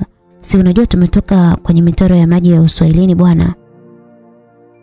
Nao nipo pembezoni mwa bahari napigwa na upepo mwanana wa bahari. Yaani mpaka nikasahau shida zote. Alisema Msonjo akisindikiza na kicheko huku Anwara akitabasamu tu. Sasa kaka nilienda kwa mtaalamu bwana. Akanieleza mambo mengi sana. Alizungumza Msonjo kisha akamueleza Anwar mambo ambayo aliyaona kwa mganga na ambayo aliambiwa yote. Aliyafikisha kwa mlengwa kisha akakaa akimsikiliza anasemaje Anwari. Aliyapima maneno ambayo aliambiwa na rafiki yake akawaza huku akiendelea kunywa juisi yake taratibu. Mm, maneno si ya kupuuza kabisa. Maana yale niliyoyakuta kwa ule dada anayejiuza yanaogopesha sana. Ila sio swala, tutajua nini cha kufanya. Hakuna shida ndugu yangu. Sawa kaka Anwari bwana. Ehe, haya niambie. Imekuwaje mpaka kuingia ndani ya mjengo mkali kama huu kaka? Ah, maisha tu kaka. Ila hapa ni kwa mpenzi wangu, so nitakuwa naishi huko tukiangalia harakati zingine. Mm, kiaje? Mpenzi wako yupi? Na kujua mwanangu, demu una kabisa. Na huo ndo ukweli. Unataka kunidanganya? Aliuliza Msonjo maswali mfululizo. Ah, ndugu yangu, kwani siku zote tulikuwa tunatembea pamoja? Si tumetafutana juzi tu kuhusu kazi kaka. Takriban miezi miwili. Kila mmoja alikuwa anatafuta maisha kivyake vyake kaka. We subiri. Ipo siku utamwona wifi yako, alisema Anwari. Wifi yangu? Kwa hiyo ni wifi yangu sio shemeji yangu. Wewe nawe utaniwe mwanangu. Kwanza chana na masiara kaka. Wacha tule bata. Hapa nina kama milioni hivi. Tafuta chura turuke nao bwana kaka leo, eh? Jumba kubwa ile kaka. Ah, ila kweli kaka. Anwari. Kama hela ipo bwana tuenjoy tu kaka. Ila shemeji akitukuta je, si utaachika mwanangu? Kasafiri leo bwana na ndio maana nipo hapa. Kwa hiyo tunafanyaje? Ah, Anwari, we kama vipi nampigia demu wangu Betha aje na rafiki yake mmoja mkali balaa huyo. Atakufaa mwanangu. Sawa, wapigie basi waje faster, tena wachukue bodaboda. Alisema Anwari huku akielekea jikoni kurudisha glasi. Msonjo alibaki sebleni akachukua simu yake na kuwapigia watu wake ambao walikubali wakaahidi kufika baada ya saa. Ilikuwa furaha kwao kuenjoy maisha. Alionekana mrembo Barbara akiwa amepiga magoti huku mbele yake kukiwa na kiumbe cha ajabu. Ninaposema cha ajabu ni cha ajabu kweli kweli. Alikuwa ni mtu mwenye mwili mkubwa huku kichwa chake kikiwa na muundo mithili ya nyoka. Mikono yake ilikuwa kama ya sokwe na manyoya mengi pia. Alikuwa na makucha marefu na miguuni alikuwa na kwato. Lakini alikuwa amevaa nguo nadhifu sana. Huku akiwa amekalia kiti ambacho kimenakishiwa na madini mbalimbali. Nyuma ya kile kitu kulikuwa na viumbe vitatu ambavyo kila mmoja alikuwa na mwonekano wake. Mmoja alikuwa na sura mithili ya pweza, sura yake ikiwa na mikia mingi ya pweza. Alikuwa kipande cha mtu haswa. Alikuwa na mwili mkubwa huku akionekana kuwa na misuli mingi, lakini ngozi yake ilikuwa kama ya samaki. Alikuwa na magambagamba mwili mzima na chini alikuwa na kwato, huku mkononi akiwa ameshika silaha yake bonge la shoka. Mlinzi mwingine alikuwa na sura ya bundi, alikuwa na manyoya mwili mzima, huku naye akiwa na mwili mkubwa na mkononi alikuwa na panga kubwa amelishika. Na huyo mwingine alikuwa na sura ya kibinadamu iliyojaa makovu ya kutisha, misuli iliyojikatakata vema, lakini wote walikuwa na kwato. Barbara alikuwa amebaki amepiga magoti katika eneo lile ambalo lilionekana kuwa ni eneo la mikutano, maana kulikuwa na uwanja mkubwa ndani yake ambao linakishiwa na vitu mbalimbali. Yule kiumbe alikuwa amekaa kwenye kiti alikuwa anaonekana ni mwenye hasira sana huku akimtazama Barbara. Ulichokifanya ni nini? Alizungumza kwa lugha yao na kwa sauti ya kutisha sana. Nisamee ba baba, umeidhalilisha jamii yetu. Umeudhalilisha ufalme wetu. Hakuna kiumbe cha jamii yetu kilichowahi kutoka kwenye falme yake na kwenda kutafuta mahusiano nje ya falme. Ina maana hakuna wanaume katika ufalme? Aliuliza kiumbe ule kwa sauti ya kutisha na laiti ungemsikia masikioni mwako basi ungeweza kukimbia kwa uoga msikilizaji. Wapo baba, alijibu kwa uoga. Ila nini? Mkuu wa majeshi huyu hapa. Nilitaka kukuozesha kwa mkuu wa majeshi. maana ameutumikia na kuuheshimu ufalme wetu kwa miaka si chini ya mia moja. Nikajitahidi kuwaweka karibu, lakini bado unajifanya humtaki. Halafu leo hii unaenda kuzini na kiumbe dhaifu kama kile. Umenisikitisha sana binti yangu. Ndipo tunatambua kwamba huyu mfalme sasa ni baba yake na Barbara. Lakini baba mimi huyo mkuu wa majeshi sina hisia naye. Kwa nini nitese hisia zangu ikiwa kuna watu na kuna mtu wa kumkabidhi moyo wangu baba? Halafu hayo ni mambo ya kizamani baba yangu. Naomba niache niitafute furaha yangu baba. Alizungumza Barbara huku akitoka na machozi ya damu. Baba yake alikaa akimtazama mwanaye kwa hasira kali sana, maana amemdhalilisha sana mtoto wake. Alimwangalia sana binti yake kisha akazungumza. Mkuu wa majeshi sogea mbele. Alisema mfalme kisha akatokea ile kiumbe ambacho kimefanana na binadamu ambaye alikuwa nyuma mfalme kisha akasogea mpaka mbele ya mfalme na kupiga goti moja. Kisha akamtazama mfalme kwa sekunde tatu, akainamisha kichwa chake chini. Na kusikiliza mfalme wangu. Kilisema kiumbe kile kwa sauti ya kikakamavu sana. Nilijitahidi kukuweka karibu na mwanangu lakini umeshindwa kumweka karibu yako. Ulikuwa mlinzi wake kila sehemu bado ukashindwa mpaka akaangukia mikononi mwa ule kiumbe dhaifu. Sasa basi, ninachokitaka kuanzia sasa ni kusikia ule kijana amekufa na niletewe kichwa chake hapa haraka iwezekanavyo. Alizungumza mfalme kwa hasira mpaka sauti yake ikawa inajirudia kwenye lile eneo la mkutano. Sawa mfa Alitaka kujibu mkuu wa majeshi lakini alikatishwa kwa sauti ya Barbara. Hapana baba. Huwezi kumuua nina mimba yake. Alisema Barbara kwa hisia kali sana. Baba. Unahitaji mwanangu aje kuzaliwa bila ya baba? Akija kusikia kama babu yake alimuua baba yake, unafikiri atakupenda? Atakuchukia? Shida yote ya nini hiyo? Kwani kuna ubaya gani wa mimi kupenda? Mkuu wa majeshi sina hisia naye hata kidogo. Hata ukinilazimisha kuolewa naye, basi furaha sitoipata. Ni sawa kama umenitupa binti yako, lakini ukiniacha kwa mtu ninayempenda hakuna ubaya wote zaidi ya kunipa furaha binti yako. Tafadhali baba, usimue nampenda sana. Alizungumza Barbara huku akilia machozi ya damu. Mfalme alibaki akimtizama binti yake bila kummaliza. Rangi ya ngozi yake ilikuwa nyeupe lakini kwa jinsi alivyokuwa na hasira, alibadilika na kuwa na rangi nyekundu. Aliona namna gani binti yake alimkosea adabu, lakini hakuwa na jinsi maana ndo binti yake ampendaye. Alichokifanya kwa muda ule ni kupotea kwenye mazingira ya kutatanisha sana na kuwaacha watu wanne pekee katika eneo lile, mkuu wa majeshi na Babra pamoja na wale walinzi wawili ambao walibaki nao. Walipotea pia wakabaki wawili tu, Babra pamoja na mkuu wa majeshi. Kunikataa mimi ni kujitafutia matatizo. Ni heri ukabaki na mimi. Achana na huyo binadamu ambaye ajui thamani yako. Hapa alipo anafanya uchafu wake. Wewe haupo. Uone kama hakupendi? Ni mara ngapi anafanya hao mambo na bado unabaki naye? Anakupotezea muda. Njoo kwangu binti mfalme. Mimi ndio shujaa wa mataifa yote haya. Hakuna anayeniweza mimi kwa vita yoyote ile. Alizungumza mkuu wa majeshi. Barbara kusikia maneno yale aliinuka na kutoka nje ya ile eneo.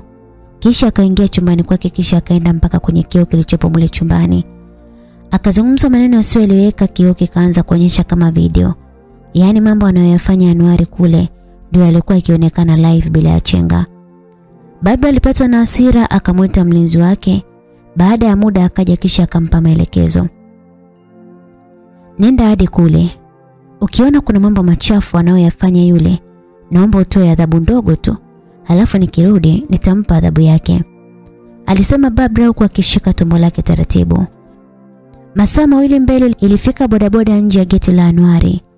Alilipia kisha akawakaribisha wageni wake ndani. Alikiri kwamba zilikuwa ni pisi, zilikuwa bomba sana. Warembo walibaki kushangaa uzuri wa lile jumba mpaka wanaingia ndani wakakaribishwa kwenye masofa ya gharama. Walipewa vinywaji huku utambulisho ukiendelea. E, bwanano, huyu ndio shemeji yako bwana. Toto la kitanga ameniteka nikatekeka anaitwa Mwana. Alimtambulisha huku akikumbatiana pale. Nafurahi kukufahamu shem, alisema Anwari. Ah, alafu huyo mrembo hapo anaitwa Zawadi. Huyu ndio mgeni wako kaka. Alisema Msonjo huku akitabasamu pia. Da kweli Zawadi, maana mtoto mzuri kweli kama kadondoka na kimondo. Em njoo tukae wote hapa. Alisema Nuari huku akimpa ishara ya kuja kukaa kwenye sofa ambayo alikalia yeye. Yule binti akiinuka kwa mapozi huku akimtazama Anuari kwa macho malegevu. Akataka kukaa kwenye sofa lakini akagairi Yamari. Ili anakaa tu alihisi kama shoti ikimpiga mgongoni mwake. Akapiga tena kelele. Wenzake walikuwa akimshangaa imekuaje au ameanza kueuka. Akawa anapiga kelele mfululizo huku akigusa mgongo mara kichwa mara fulani. Zile ajabu kila akijigusa alikuwa akipo. Mara ikahamia kwa mwana naye alianza kula viboko kama alivyokula mwenzake. Ilikuja kwa msonjo naye akapigwa na mwisho akamaliziwa Anuari. Alikula fimbo za kila sehemu ilikuwa ni tafrani. Kila mmoja alitafuta mlango wa kutokea wakapoteana na kila mmoja akatafuta njia yake ya kurudi kwao. Anuari alirudi kwenye gito lake, alikaa akawaza sana matukio jinsi yanavyoendelea. Kila siku ilikuwa ni matukio tu. Akaona kabisa hapa kuna tatizo na si bure. Akampigia simu Msunjo kisha akamwambia aje geto. Baada ya muda alikuja pale, maana hakuwa akiishi mbali sana. Alifika pale huku akiwa mpole sana, hakuchangamka kabisa. Ndugu yangu ila leo ni kubwa sana. Na sasa nimeamini kile ambacho alikisema. Huenda kuna kitu kinaendelea hapa. Alizungumza Anuari kwa sauti ya upole sana. Da, sijawahi kupigwa kama vile kaka. Yaani nimeogopa au ile nyumba ina majini? Sijui, itabidi twende kwa mtaalamu wako yule. Sawa, twende tu, hamna hata shida. Hata sasa hivi muda bado tunachukua tu bodaboda fasta tu tunafika. Poa, twenzetu basi. Wakatoka walipofika barabarani wakachukua usafiri wa bodaboda ambao uliwatoa mahala hapo mpaka Vikindu. Kisha Anuari akamlipa bodaboda ujira wake, wakaanza kutembea kuelekea kilipo kilinge cha mganga. Walikaribishwa na nyimbo za mganga na hii ni desturi ya mganga huyo. Yaani kabla haujafika alikuwa anajua kwamba unakuja na alikuwa ni kiboko huyo mganga. Walipofika Msonjo akawa mwenyeji wa Anuari akamwelekeza taratibu za pale. Anuari akawa anafanya kama anavyofanya Msonjo.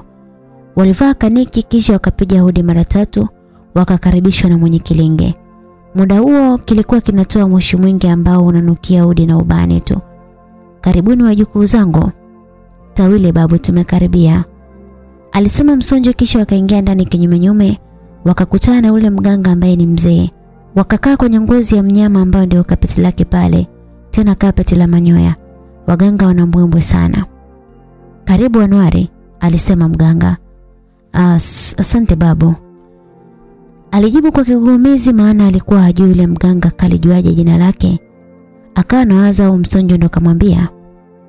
Usijiulize sana, hapa ni kwa mganga na kujua majina yako yote. Ni mambo ya kawaida kufika kwa mtaalamu na kukuta kuna maelezo yako pale bila hata wewe kusema. Sawa mjukuu wangu, usijali, alizungumza mganga. Sawa babu. Ah, naweza nikaongea mbele ya mwenzako? Au tumwambie atupishe? Aliuliza babu huyo huku akimtazama Anuari kwa umakini sana. Mimi naona ni sawa tu hata akiwepo. Maana yeye ndio mwenyeji wangu na ni ndugu yangu pia. Kwa hiyo hata ukisema akiwepo ni sawa babu. Okay, sawa. Kwanza kabisa nakupa dawa ya kuangalia kilichotokea juzi. Alisema babu kisha akachukua kile kibuyu chake akampaka Anuari usoni kisha akamwambia angalia ukutani ambako kulikuwa na kitambaa ama unaweza kuita televisheni ya asili. Alianza kuona matukio ya siku ile ambao walikuwa kibeba viumbe vya ajabu ajabu mpaka walipopotea. Anuari alijisi kukimbia kwa alichokiona maana alikuwa na hofu sana huku akiwa amejawa na uoga. Ah, kuna kiumbe kinakufuata fata kinakuhitaji kiwe na wewe kimekupenda. Na ndio maana ukakutana na matukio kama haya. Pia kule guest ulipotaka kufanya mapenzi na fisi. Ni yeye huyo kiumbe ambaye alifanya mpaka ukaona kwamba ni fisi. Hakutaka uingie kwenye matatizo. Maana ukifanya mapenzi na fisi wa kichawi, kwanza unapata maradhi na pia unazoa mikosi, mabalaa, nuksi na kila aina ya matatizo unayabeba pale. Na ndipo unamkuta mwanaume akipata hela tu anatumia ovyo bila malengo. Babu huyo aliweka kituo akiwatazama wajukuu zake kwa zamzam kisha akaendelea kuzungumza. Na zile fimbo mlizopigwa kule ni yeye. Ni huyo kiumbe ambaye amesababisha. Ila kiumbe hiki kina utajiri ndani yake kama utakubali kuwa nacho. Ila sikushauri uingie kwenye mikono ya viumbe hawa. Ah, maana ukiwakosea watakuadhibu na kukupotezea dira ya maisha yako. Mm, babu. Kwa hiyo utanipa msaada gani? Ah, tukizuie tu. Sawa babu. Alijibu anwari hapo hapo mganga akaanza kuchukua madawa yake ambayo yalikuwa yapo kwenye makopo akaanza kuyafungua huku akichanganya madawa. Kisha aliyagaa katika mafungu matatu akavifunga kwenye karatasi tatu tofauti kisha akamkabidhi Anuari. Hizi dawa hapa utatumia kuoga, kunywa na kuchoma. Utachukua kidogo kidogo unatia kwenye maji ya kuoga. Pia tia kidogo kwenye maji ya kunywa na pia utakuwa unachoma dawa hii kila siku asubuhi na jioni ndani ya siku saba. Dawa hiyo ianze leo. Kisha baada ya siku saba njoo tuangalie kipi cha kumalizia mjukuu wangu. Haya, inukeni muondoke. Alisema babu huyo huku akichukua usinga wake akawa na wapunga waondoke. Msonjo akainuka kisha Anwari akafata. Kisha wakaondoka zao kuielekea ilipo barabara kuu ya kurudi mjini. Tangia watoke kwa mganga Msonjo alikuwa kama akiwaza kitu hivi. Muda wote alikuwa ni kimya tofauti na mwanzo. Anwari hakumtilia maanani, alijua tu na mambo yake kichwani. Mpaka wanafika nyumbani, Msonjo hakuwa mwongeaji kabisa. Waliagana na kila mmoja akaingia kwenye kichochoro chake. Anwar alifika chumbani kwake akafikia kitandani akajilaza huku akiruhusu kichwa chake kuanza kupokea mafaili ya mawazo. Alizama kwenye dimbu la mawazo. Kwani iko kiumbe kinataka nini kwangu jamani? Sikiniache ninjue maisha yangu na babra wangu. Mbona anataka kunizibia riziki iko kiumbe? Bora tu tukitoe bwana. Kama ila napoa na babra, mimi majini ya nini tena? Wakati huku na njia vya kutosha. Alizungumza Anuari, mawazo yalichukua nafasi yake mpaka akapitiwa na usingizi pale pale kitandani. Alionekana baba akiwa ametulia kitandani kwake kwenye jengo la kifahari ambalo ni zuri kupindukia.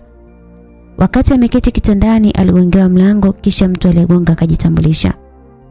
Ni mimi mlinzi wako. Naomba ruhusa ya kuingia mwanamfalme. Sauti kutoka nje ya chumba ilisikika.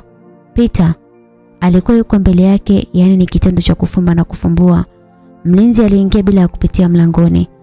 Alipofika tu alipiga magoti na kuinama. Nimemaliza kazi yako leo nituma ewe binti mfalme. Alisema kiumbe huyo ambaye alikuwa akifanana sana na binadamu. Sawa. Alijibu kwa kifupi Babra. Niliona akiwa kwa mganga. Nadhani huenda mambo yanaweza ya kuharibika maana ule mganga amemwonyesha kila kitu. Lakini Anwar hajatambua bado kama ni wewe ndiye mhusika na pia amepewa dawa ya kukuangamiza wewe binti mfalme. Ah, wewe unanishauri nini Subiani? Aliuliza babla huku akimtazama mlinzi wake ambaye anaitwa Subiani. Ah, kwanza ule mtaalamu tumpoteze. Na pia ni bora ukajiweka huru kwake. Na maanisha ukweli umweka mtu huru. Mwambie kila kitu ili asije kubabaika hapo baadaye pindi atakapokuona katika uhalisia wako. Mm, sawa, nashukuru Subi. Nitalifikiria hilo. Sawa wewe binti mfalme. Haya unaweza kwenda. Alitoa heshima pale kisha akapotea Subiani huku akimwacha Babra akiwa kwenye mawazo. Akiwaza shida iliyotokea hapo. Aliona kabisa mganga anataka kuingia kwenye anga ambazo sio saizi yake. Wacha nimwambie ukweli Januari, nampenda sana ule mwanaume wa maisha yangu. Upande mwingine anaonekana Msonjo akiwa amekaa kwenye kiti chumbani kwake ambako alikuwa akiishi vizuri tofauti na Januari ambaye alikuwa akipata riziki kwa shida. Msonjo alionekana akiwa kwenye dimbu la mawazo sana. Anuari amepata jini, tena jini la utajiri kabisa. Natamani nimpate na mimi ule jini anipe mali ese. Nitatafuta namna mpaka nimmiliki mimi huyo jini. Nitaongea na babu, najua anaweza kunisaidia.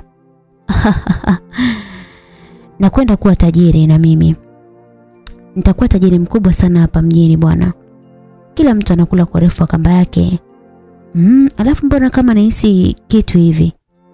Ile nyumba hajanunuliwa na jini kweli? Mm. Lakini Anuara anaonekana ajui kitu. Itakuwa sio huyo jini. Lakini kama kuna kitu hapa, ngoja nitajua tu. Jua lilichomoza asubuhi huko mji ukianza kupokea harakati za watu wake na kila mmoja alikuwa akienda kwenye shughuli zake. Watu walikuwa wakijipatia riziki mbalimbali katika jiji hilo. Wanafunzi nao hawakuwa nyuma. Walikuwa wakiamka mapema na kwenda kuwahi elimu ili ije kuwapa manufaa hapo baadaye. Anuari alikurupuka mida ya saa tatu asubuhi akajitazama alivyolala, alijicheka mwenyewe. Maana bado alikuwa amevaa raba zake pamoja na nguo zake vile vile ndivyo alivyolala. Akajiuliza maswali ilikuwaje mpaka akalala na viatu tena mpaka kuna kucha. Akiwa kwenye dimbu la mawazo pale kitandani ndipo anakumbuka kwamba hakutumia dawa alizopewa na ule babu kule kilingeni. Alipanga kutumia kuanzia asubuhi hiyo wakati anajiandaa kaoge simu yake iliita. Alipoitazama mpigaji alikuwa ni Babra, akaipokea haraka haraka kisha akaiweka sikioni. "Halo mpenzi, umeamkaje?" "Salama, sijui wewe." "Niko poa kipenzi changu." "Uko wapi? Mbona upo nyumbani?" "Kwa kwani umerudi?" "Ndiyo nimekuja, nimekuta mlango uko wazi, nikajua upo ndani." Nashangaa sikuoni nyumba nzima. Anwar anakuja kukumbuka kufunga mlango tangu ile sekeseke ilitokee. Lakini akaamua kumficha tu. Ah, nimekuja nyumbani mara moja, kumbe sikufunga mlango. Da. Kichwa kina mambo mengi mpenzi. Unawaza nini jamani? Si nimekwambia utulie, kila kitu nitaweka sawa jamani. Fanya uje bwana mimi nakusubiri huku, siwezi kukaa peke yangu niko mpweke. Alizungumza Babra kwa kudeka sana. Sawa mama watoto nakuja sasa hivi. Tema mate kabla hajakauka nitakuwa nimeshafika hapo malkia wangu. Sawa my love. Anwar alikurupuka haraka haraka akaenda zake kuoga bila ya kuchukua ile dawa ya kuoga. Alipotoka msalani akajiandaa na kutoka, akahakikisha mlango wa chumba chake ameufunga vizuri. Wakati anatoka nje akakutana na Amina ambaye kama kawaida yake alikuwa akimdharau Anwari, lakini sasa hivi alikuwa ameanza kumheshimu maana mwanamke anayemiliki Anwari hata iweje aweze kumfikia kwa uzuri. Walisalimiana kisha akaondoka Anuari maana ya kutaka ukaribu tena na wanawake tofauti na Babra. Aliamua kutulia naye kwanza. Baada ya saa mbele alikuwa ameshafika nyumbani kwake kwa kutumia usafiri wa bodaboda. Kisha alikutana na gari moja kali sana ndani pale. Alipoingia sebleni alikutana na harufu nzuri sana ya chakula. Aliifuata harufu ile ambayo ilikuwa ikitokea jikoni na huku alimkuta Babra akiandaa chakula cha mchana huku akiwa amevaa dera ambalo lilimpendeza haswa na nywele zake nzuri zikiwa zimeshuka mpaka mgongoni karibu kabisa na makalio yake.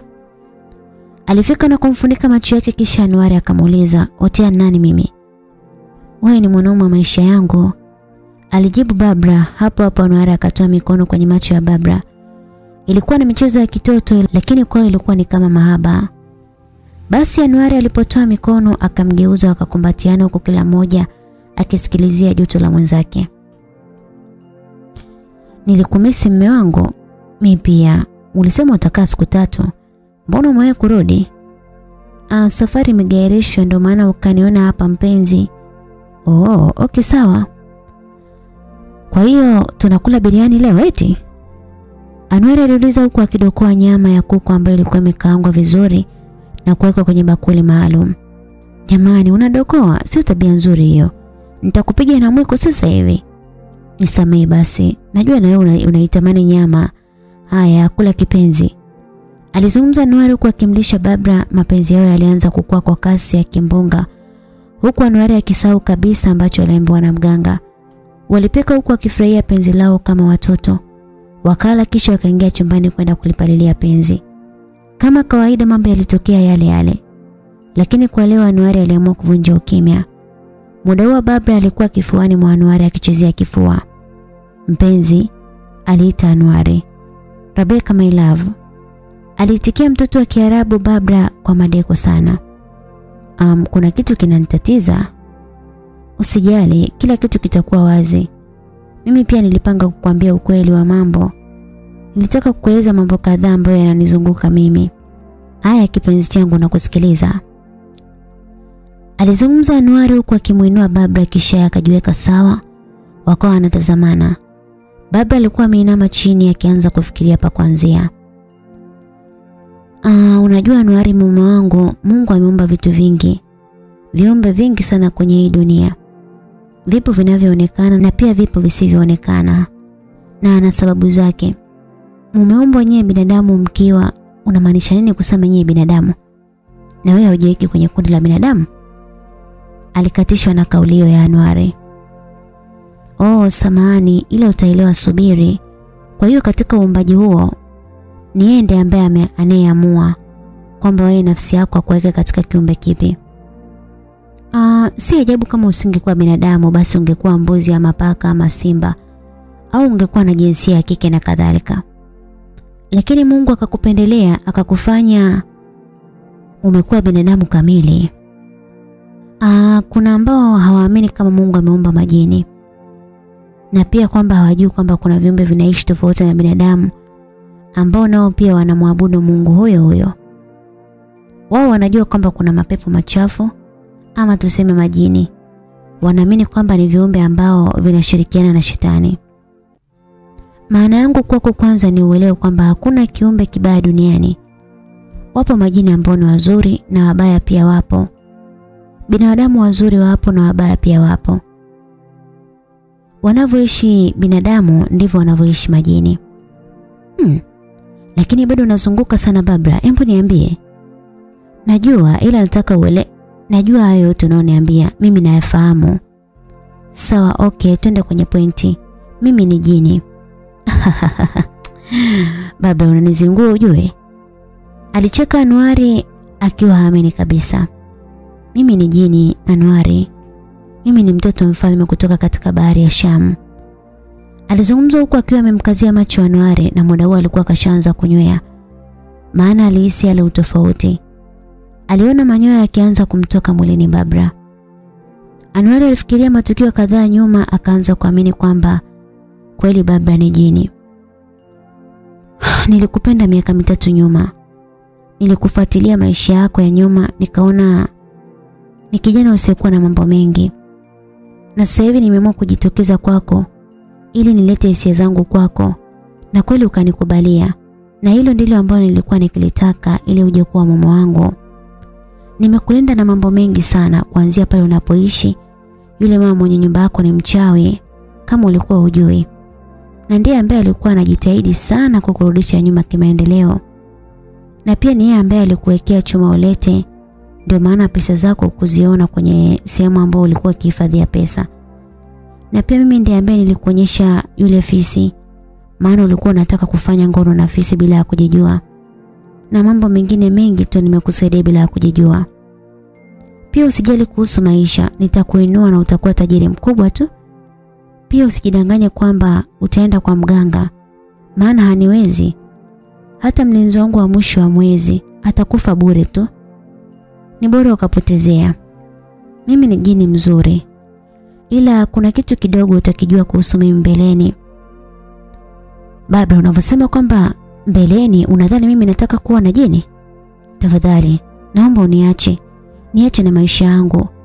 Nimeamua kusamehe yote. Na ninaapa situsema kwa mtu yoyote nitakuwa kimya. Alijitetea Anuari. Ah, najua unachohisi, lakini mimi siwezi kuwa tishio kwenye maisha yako. Nitasimama kama binadamu kwako. Siwezi kusimama kama jini. Nitakuheshimu na kukupenda nitakulinda. Hautojutia kuwa na mimi. Na pia tambua kwamba tumeshaweka agano pale tulipofanya mapenzi tangu siku ya kwanza. Kwenye kabila letu tutakayetembea naye kwa mara ya kwanza ndio mnakuwa mmefunga pingu za maisha hata iweje. Hutoweza kuwa na mtu mwingine, labda nife. Ndipo kifungo hiko kinaisha. Hilo ni moja Januari. La pili, nakupa taarifa pia kwamba nina mimba yako. Naomba unikubalie tumlee mwanetu anayekuja tafadhali. Alisema Barbara huku akishuka chini na kupiga magoti. Alimpiga magoti Anuari huku akitoka na machozi ya kijani. Muda huo Anuari alikuwa akiwaza sana. Nafsi zilikuwa zikivutana huko kila nafsi ikimwambia lake. Ipo ambayo alimwambia kwamba achane naye, lakini pia ipo ambayo alimwambia aendelee kuwa naye. Maana alikuwa hana shida yoyote Barbara zaidi ya kumwonyesha mapenzi tu. Uh, sisemi nimekubali. Ila naomba muda kwanza wa kukuzoea. Roho yangu ikikukataa, basi itakuwa hivyo hivyo. Nitakukataa. Ila kama nitazidi kukupenda, basi tambua nitakuwa wako. Alizungumza Anuari huku akiinuka kuelekea bafuni akamwacha Babra akiwa chini pale amepiga magoti na machozi ya kijana akiwa ameweka njia kwenye mashavi yake mazuri. Anuari alipoingia bafuni tu alikutana na Babra akiwa amesimama kwenye pembe ya bafu alishtuka sana. Akatazama nyuma alipomwacha kumuona. Umefikaje hapa? Si, nilikuacha pale? Pale chini? Aliuliza kwa kubabaika sana Anuari. Mimi ni jini Anuari. Umesema unataka kunizoea. Ndio uanze kunizoea my love. Alizungumza Babra huku akitembea kwa mapozi akimfuata Anuari. Mm, hapana. Hapana. Wewe unatoa taarifa ukitaka kujitokeza kama hivyo ili nijiandae kisaikolojia. Alisema Anuari huku akianza kupapaswa kifuani mwake. Alianza kuogeshwa pale kama mtoto mdogo huku akipewa vitu vya pwani mpaka bara. Walipomaliza kuoga walirudi kitandani wakifenzi lao wakisawa matatizo yao. Nyimbo za kiganga zilisikika zikiimbwa kama kawaida kila wendapo kwa mganga basi ndicho ambacho alikutana nacho Msonjo. Alikutana na nyimbo akiwa anaingia katika kilinge cha mganga yule ambaye pia anapenda sana kwenda kila siku. Na mara ya mwisho alikuja na Anuari lakini siku hii alikuwa amekuja peke yake. Alifata taratibu zote kisha akakaribishwa na kukaa kwenye ngozi. Mm, mjukuu wangu. Leo unaonekana umekuja na jambo kubwa sana.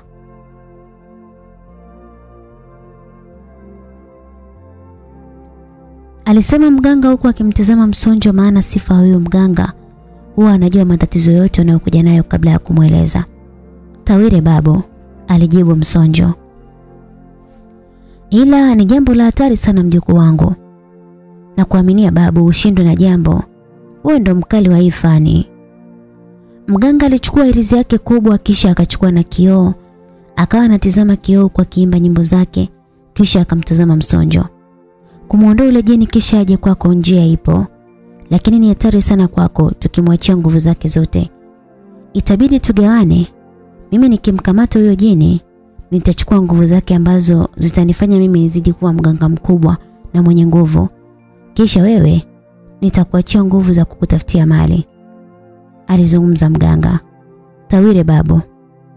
Ah, kinachohitajika hapa ni nywele zake za kichwani. Japo kidogo. Tena tukipata kwa wiki hii ni nzuri. Maana mwezi utakuwa mpevu. Ila ukienda kuchukua hizo nywele hakikisha hauonekani. Hayo ndio masharti ya kumchukua jini kutoka kwa mtu kumleta kwa mtu. Alizungumza mganga. Mm, sasa babu nitawezaje kuto kuonekana isee? Nitakupa dawa, dawa ambayo itakufanya uingie sehemu yoyote bila wewe kuonekana na mtu yoyote ule. Kisha wewe utachukua kiwembe na kukata nywele zake. Kisha njoo nazo huko siku hiyo hiyo ambayo utakata hizo nywele.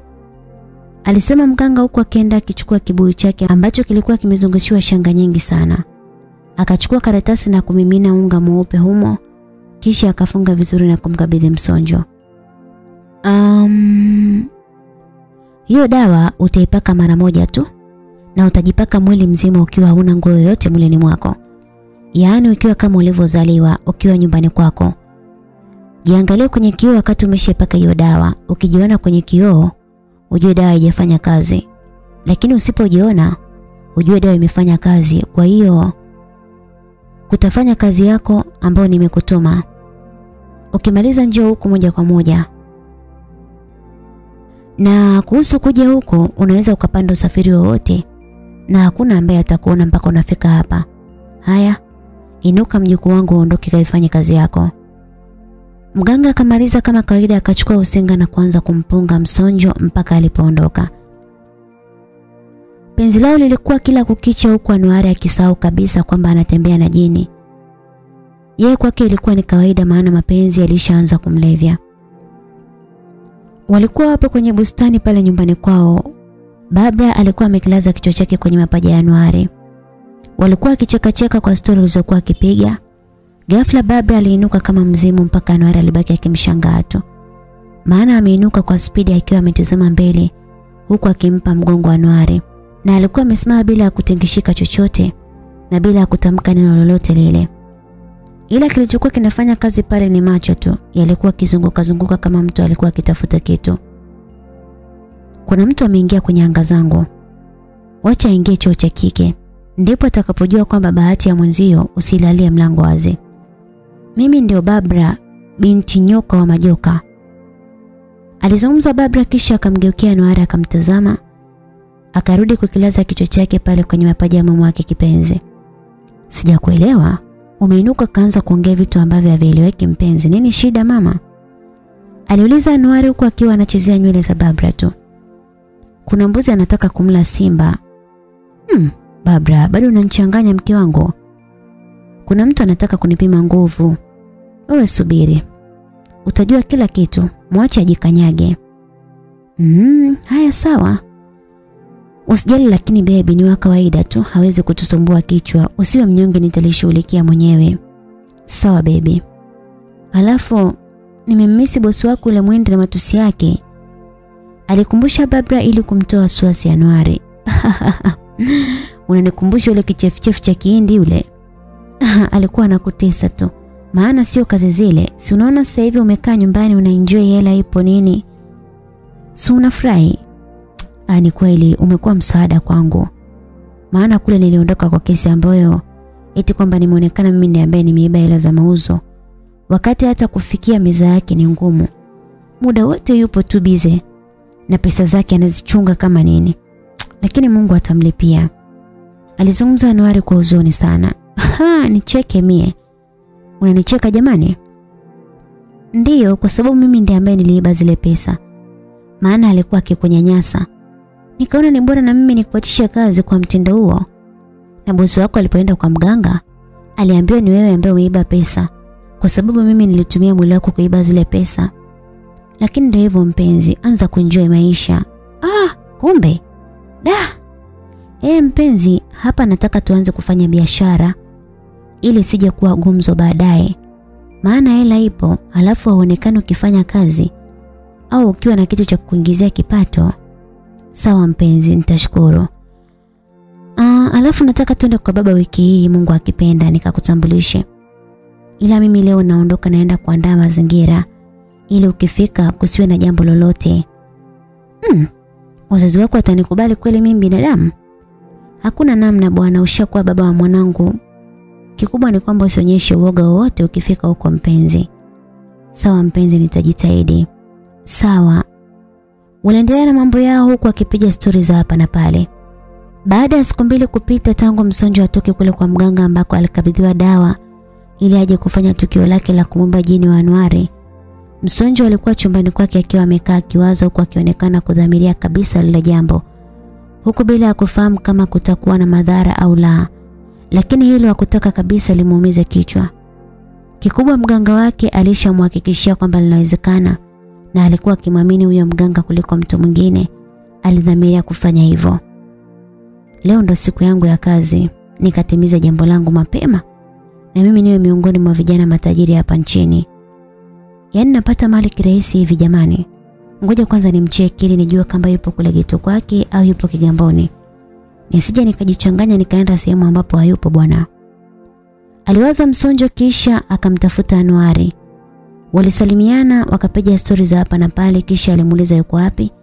Alimwambia kwamba yupo Kigamboni na baada ya hapo akakata simu. Alienda kujiandaa akafata maelekezo ya mganga akafanya kama alivyoambiwa juzi kwa mganga. Na baada ya hapo akajaribu kujitizama kwenye kioo hakujiona. Moyoni mwake alifurahi sana kisha akaenda nje ambako hakuna alikuwa akimtazama. Kila mtu alikuwa bize na mambo yake tu. Na hapo ndipo alipojipa ushindi na kuondoka mpaka Kigamboni ambako alikuta nyumba imetulia, akazama kwa kupitia mlango wa uani maana alisikia televisheni ikizungumza. Alinyata na kuzama jikoni, akapiga jicho sehemu akamkuta Anwar akiwa amekaa anatazama tamthilia. Alitembea taratibu huku akiwa ameshika wembe wake, akiwa amekaa nyuma ya Anwar ambaye hakuwa akitambua jambo lolote mpaka muda huo. Kilichokuja kumshtua Nawari ni mlio wa kitu ambacho kilidondoka kama mzigo pu. Alipogeuka nyuma yake, alikutana na vitu viwili vya kutisha sana. Kwanza aliona kiumbe kimoja ambacho kilikuwa na rangi nyekundu mwili mzima mithili ya damu na pia alikuwa na mapembe kichwani huku akiwa na mwili kama wa binadamu na mkononi alikuwa na panga linalowaka moto. Kisha macho yake yakatoka kiumbe kingine ambacho kilikuwa na uchi wa mnyama huku akiwa amejipaka maungaunga mwilini. Anwari alibaki kustaajabu ya dunia asijue ya kufanya. Kile kiumbe kikasogea mpaka alipokuwa ule mtu pale chini. Alimshika shingoni akamuinua kwa mkono wake mmoja huku akiendelea kuikaba shingo yake. Alianza kufurukuta na hapo ndipo Anwari alimwona yule mlinzi vizuri, kumbe alikuwa Msonjo. Msonjo aliita Anwari huku akiamake kabisa. Ni, Ni, nisaidie Anu. Aliita kwa shida sana Msonjo. Kile kiumbe akikuongea zaidi ya kufanya vitendo, akalinyanyua panga lake kisha akalichomeka kwenye tumbo la msonjo na kusababisha damu kuanza kumwagika chini. Anuari alibaki kushangaa na hakukuwa na cha kufanya. Msonjo alipapatika kama kuku mwenye kideri huku akianza kuiaga dunia taratibu. Roho yake ilianza kuacha mwili baada ya kukata roho kabisa. Alimwachia na kudondoka chini. Kile kiumbe kikamgeukia Anuari kikamtazama kisha akaanza kubadilika na kuwa binadamu. Ah, samani kwa kuja katika umbo la kutisha kama lile. Mimi naitwa Subiani, ni mlinzi wa Malkia Babra. Ningechelewa kidogo, usalama wa malkia wangu na wakwako pia ulikuwa ni mdogo sana. Ngoja nikammalizie na yule aliyekuwa akishirikiana naye. Maelezo mengine atakuja kukupatia malkia kwa heri. Alisema Subiani ambaye ndio mlinzi wa Babra popote pale aendapo, yeye ndo alikuwa akimlinda. Baada ya kuzungumza maneno yale Subiani alipotea na kumwacha Anwari peke yake pale.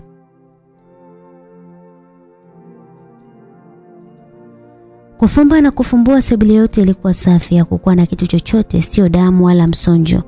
Yaani kulikuwa kumesafishwa kote. Alikaa akijiwazia imekuwaje rafiki yake auawe na kwa nini amemkuta uchi kama mchawi vile. Alibaki kushangaa tu asijue la kufanya pale. Ndani ya falme ya majini, falme iliyoshinda vita vingi sana hapo zamani na kusababisha kuwa na ufalme mkubwa sana. Wengi wao waliogopa kutokana na wanajeshi wake mahiri ambao walipigana vita nyingi chini ya kamanda wao mkubwa mwenye nguvu. Babra alikuwa kwenye bustani akiwa ameshikilia tumbo lake huku mambo kadhaa yakipita kichwani mwake. Kwa mbali alimwona baba yake akija pale bustanini. Kwa heshima alisimama huku akimsubiri baba yake ambaye ndiye mfalme wa majini yote katika mji huo. Heshima yako, ewe mtukufu mfalme. Alimsalimia huku akibonyea chini kidogo. Keti, nataka kuzungumza na wewe mwanangu. Alisema mfalme huku akikaa kwenye hiyo bustani iliyojaa miti na ndege wa kila aina. Naamu mtukufu mfalme. Aliitika baada ya kukaa. Mwanangu, ninaomba unisamehe kwa kukukaripia binti yangu. Zilikuwa ni hasira tu zile. Usijali baba, najua, lakini kwa sasa inabidi tubadilike. Mapenzi ni hisia. Hauwezi kuoa au kuolewa na mtu ambaye huna hisia naye. Kusema ukweli kwa Anuari, najihisi mikono salama. Tofauti na huko ambapo ulipotaka kunipeleka baba. Naelewa binti yangu, lakini kuna mambo nyuma ya pazia huko ukiyajua mwanzo. Alisema mfalme huku akionekana mnyonge sana. Mambo gani baba? Aa, wakati tuliposhindwa vita miaka ya zamani, kipindi huko bado mdogo, niliingia makubaliano na huyo mkuu wa majeshi ambaye alikuwa na jeshi lake la majini weusi yenye nguvu. Kwa kuwa sisi tulikuwa tumeshindwa vita, tukaingia kwenye makubaliano na mkuu wa majeshi kwamba atakuwa mkuu wa majeshi na ukikuwa nitakuozesha kwake. Maana sina mtoto wa kiume, ni wewe tu binti yangu. Na kwa kuwa sikutaka kushindwa vita, nilikubaliana naye na ndipo tukaungana na kupata nguvu mpya. Tukaanza kupigana vita.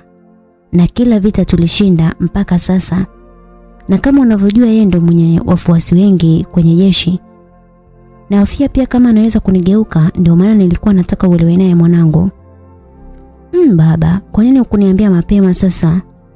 Nisamee binti yangu sikuwa na chaguo. Sawa baba. Nitajua cha kufanya kwa kuwa mimi ndo mmiliki wa hii falme. Naomba uniachie kazi. Nitatafuta tu njia ya kumdhibiti huyo. Sawa binti yangu. Naomba unishirikishe kwenye mipango yako pia. Baba, usijali, usijali kabisa juu ya hilo. Mimi naenda kuwatembelea wafungwa. Leo moyo wangu umekuwa na amnako kule sana. Nahisi kuna majini nitawapa msamaha leo. Tutaonana baadaye. Baada ya hapo akaagana na baba yake kisha akaenda chumbani kwake ambako alifikia kwenye kioo chake cha maajabu. Akaangalia habari za duniani na kuona kazi ambayo alimpa Subiana ameifanya vyema. Tena kwa muda huo yupo njiani na kwenda kumaliza kazi. Alifurahi kuona vile kisha alijilaza kitandani kwa ajili ya kupumzisha mwili wake. Mganga alikuwa akiendelea na shughuli zake nje ya kilinge. Muda huo alikuwa akimuosha dawa mgonjwa wake lakini ghafla aliacha alichokuwa anakifanya na kukimbia kwenye kilinge chake. Kitendo kile kilimshangaza mgonjwa wake ambaye alikuwa akihudumiwa kwa wakati ule. Alipoingia kilingeni akachukua kibuyu chake kilichokuwa kinatisha nje. Kilikuwa na michoro ya ajabu ajabu sana. Na pia kilikuwa kimezungushiwa shanga na hirizi tatu zenye kupumua mithili ya kiumbe ambacho kipo hai. Alianza kusema maneno asiyoeleweka huku akiwa na haa asijue la kufanya. Aliangalia kila pembe ya kilinge lakini hakufanikiwa kuona alichokuwa anakitafuta. Ghafla ulipita upepo mkali ambao ulifanya kibuyu na vichupa vyake vya dawa vivurugike. Hajakaa sawa, mganga alikula kibao cha uso ambacho kilimpeleka chini. Kile kibao kiliacha alama ya mkono ambayo iliweka uvimbe usoni. Wewe ndo kidume sio? Ilisikika sauti ya kutisha mithili ya simba msituni. Ha, hapana. Simba akitulia huwa mnamuona paka, mnataka kumshika sharubu, si ndio? Iliuliza tena sauti ile ya kutisha. Na naomba unisamee nimekosa mimi. Aliendelea kujitetea mganga yule. Leo mmeingia kwenye mtumbo wa majini. Wacha nikuonyeshe kwa nini niliitwa Subiani Mwekundu. Alisema Subiani huku akijitokeza kwenye pembe ya kilinge akiwa na panga lake kama kawaida lilikuwa likiwaka moto. Subiani alimwangalia yule mganga kwa hasira. Alinyanyua upanga wake akaupitisha kwenye ule mkono ambao ulishika kibuyu kile. Pale pale mkono ulidondoka chini na kile kibuyu kilidondoka kikapasuka na kilitoa moshi pamoja na harufu kali sana. Subiani akamkata miguu mganga, damu zikatapakaa chumba kizima. Na mganga alikuwa akilia mithili ya mtoto mdogo, hakuwa na ubavu kabisa. Subiani akamfuata pale alipokuwa amekaa kisha akamtazama na kumwambia, "Hii iwe fundusho. Sio kila kiumbe kinathibitika. Yaani hapo umekutana na mimi tu. Haujakutana na malkia wangu. Angekufanya kitu kibaya sana. Ila mimi nakupunguzia adhabu. Nitaondoka na kichwa chako kama kumbukumbu nyumbani kwangu." Watoto wangu wakikiona waseme kweli baba alikwenda kwa binadamu na amerudi na zawadi. Baada ya kuzungumza vile, alishika upanga wake na kukifeka kichwa cha ule mganga. Kilinge chote kilikuwa akitamani kimethili ya bucha. Damu zilitapakaa kila kona kilinge kile. Subiani baada ya kumaliza kazi yake alipotea kusikojulikana huku akiacha mauaji ya kikatili sana. Ndani ya kambi ya mkuu wa majeshi ya majini alionekana mkuu wa majeshi ambaye anaitwa Makata akiwa kwenye dimbwi la mawazo huku akiendelea kunywa kinywaji ambacho kilikuwa mithili ya damu. Haikujulikana ilikuwa ni damu ya nini. Mfalme amekeuka makubaliano yetu. Naona dhahiri naenda kumkosa binti yake. Na nikimkosa binti yake ina maana nimeukosa na ufalme huo ambao mimi mwenyewe nilitia nguvu yangu mpaka kufikia kuwa falme yenye nguvu katika ukanda huu wa bahari ya Shamu. Hapa ni kutafuta mpango mwingine tu. Nitamuoa kilazima, lakini kabla ya yote nihakikishe ufalme unakuwa kwenye mikono yangu kwa hali yoyote ile. Iwe kwa damu au kwa maneno, lazima niumiliki huu ufalme. Aliwaza Makata kisha akachukua kitu kama ubani hivi, akakichoma kimaajabu maana hakukuwa na moto eneo lile. Moshi mwepesi ulitoka kisha alizungumza maneno machache baada ya hapo moshi ule ukapotea. Baada ya dakika moja mlango wa ofisi ya mkuu wa majeshi ambaye ni Makata uligongwa. Akamruhusu aliyegonga apite, mlango ukafunguliwa akaingia kiumbe kingine ambacho hiki kilitisha sana. Alikuwa na mapembe marefu sana na alikuwa na mikono minne. Mikono yake ilikuwa na kucha ndefu za kutisha. Alikuwa na panga mbili na kila upande alishika panga moja moja. Mwili wake ulikuwa ukichuruzika damu mbichi tu. Nimekuja mkuu, kilisema kile kiumbe. Zuma, nataka tupindue ufalme haraka iwezekanavyo. Mkuu, imekuwa ghafla mbona? Tuna mahusiano mazuri tu na mfalme. Shida ni nini? Hakuna dalili ya kumpata binti mfalme. Zuma, sisi shida yetu sana ni hii falme na sio binti mfalme. Maana wanawake wapo wengi tu. Tutapata hata katika falme za mbali. Sawa mkuu. Mpango wako ni upi? Jumanne akishukutwa ndio tutachukua ufalme. Na pia anza kuwapa taarifa kwa siri yale majina yenye nguvu na kila mmoja umpange kwenye eneo lake la kuanzia mashambulizi. Ili muda ukifika ni kuanza kazi tu sawa? Sawa mkuu. Aliitikia Zuma kisha akaaga na kuondoka eneo hilo. Muda wote huo kulikuwa na kiumbe kidogo sana mithili ya punje ya mchanga. Kilikuwa kimekaa kikisikiliza maongezi yao. Baada ya Zuma kuondoka na ndipo kikaanza kujirudisha kwenye umbo lake halisi. Hakuwa mwingine bali ni Subiani na huyu ndiye mlinzi wa Babra. Alifika mpaka kwa Babra, alitoa heshima kisha akaanza kumpa taarifa. Hakuacha hata punje, alisema kila kitu. Babra alitabasamu kwa kupewa taarifa ile ambayo kwa upande fulani ilikuwa taarifa mbaya sana. Hakujua namna ya kumthibiti Makata kabisa. Malkia wangu, wewe una mpango upi?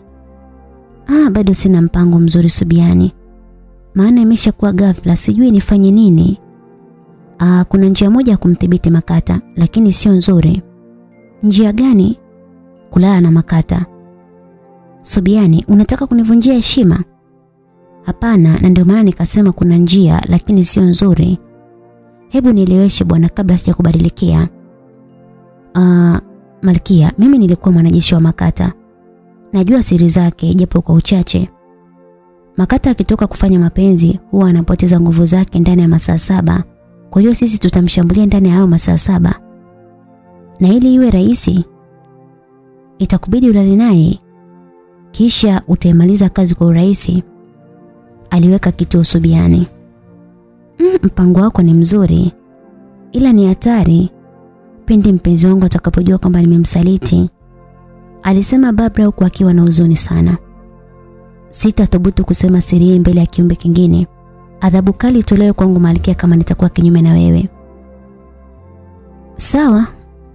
Basi wacha naangalia namna ya kumwingilia mkuu wa majeshi ili tuimalize kazi hii. Naomba kuwa karibu na mimi muda wote kuanzia sasa. Tunaweza kumwahi kabla yeye hajachukua ufalme wetu.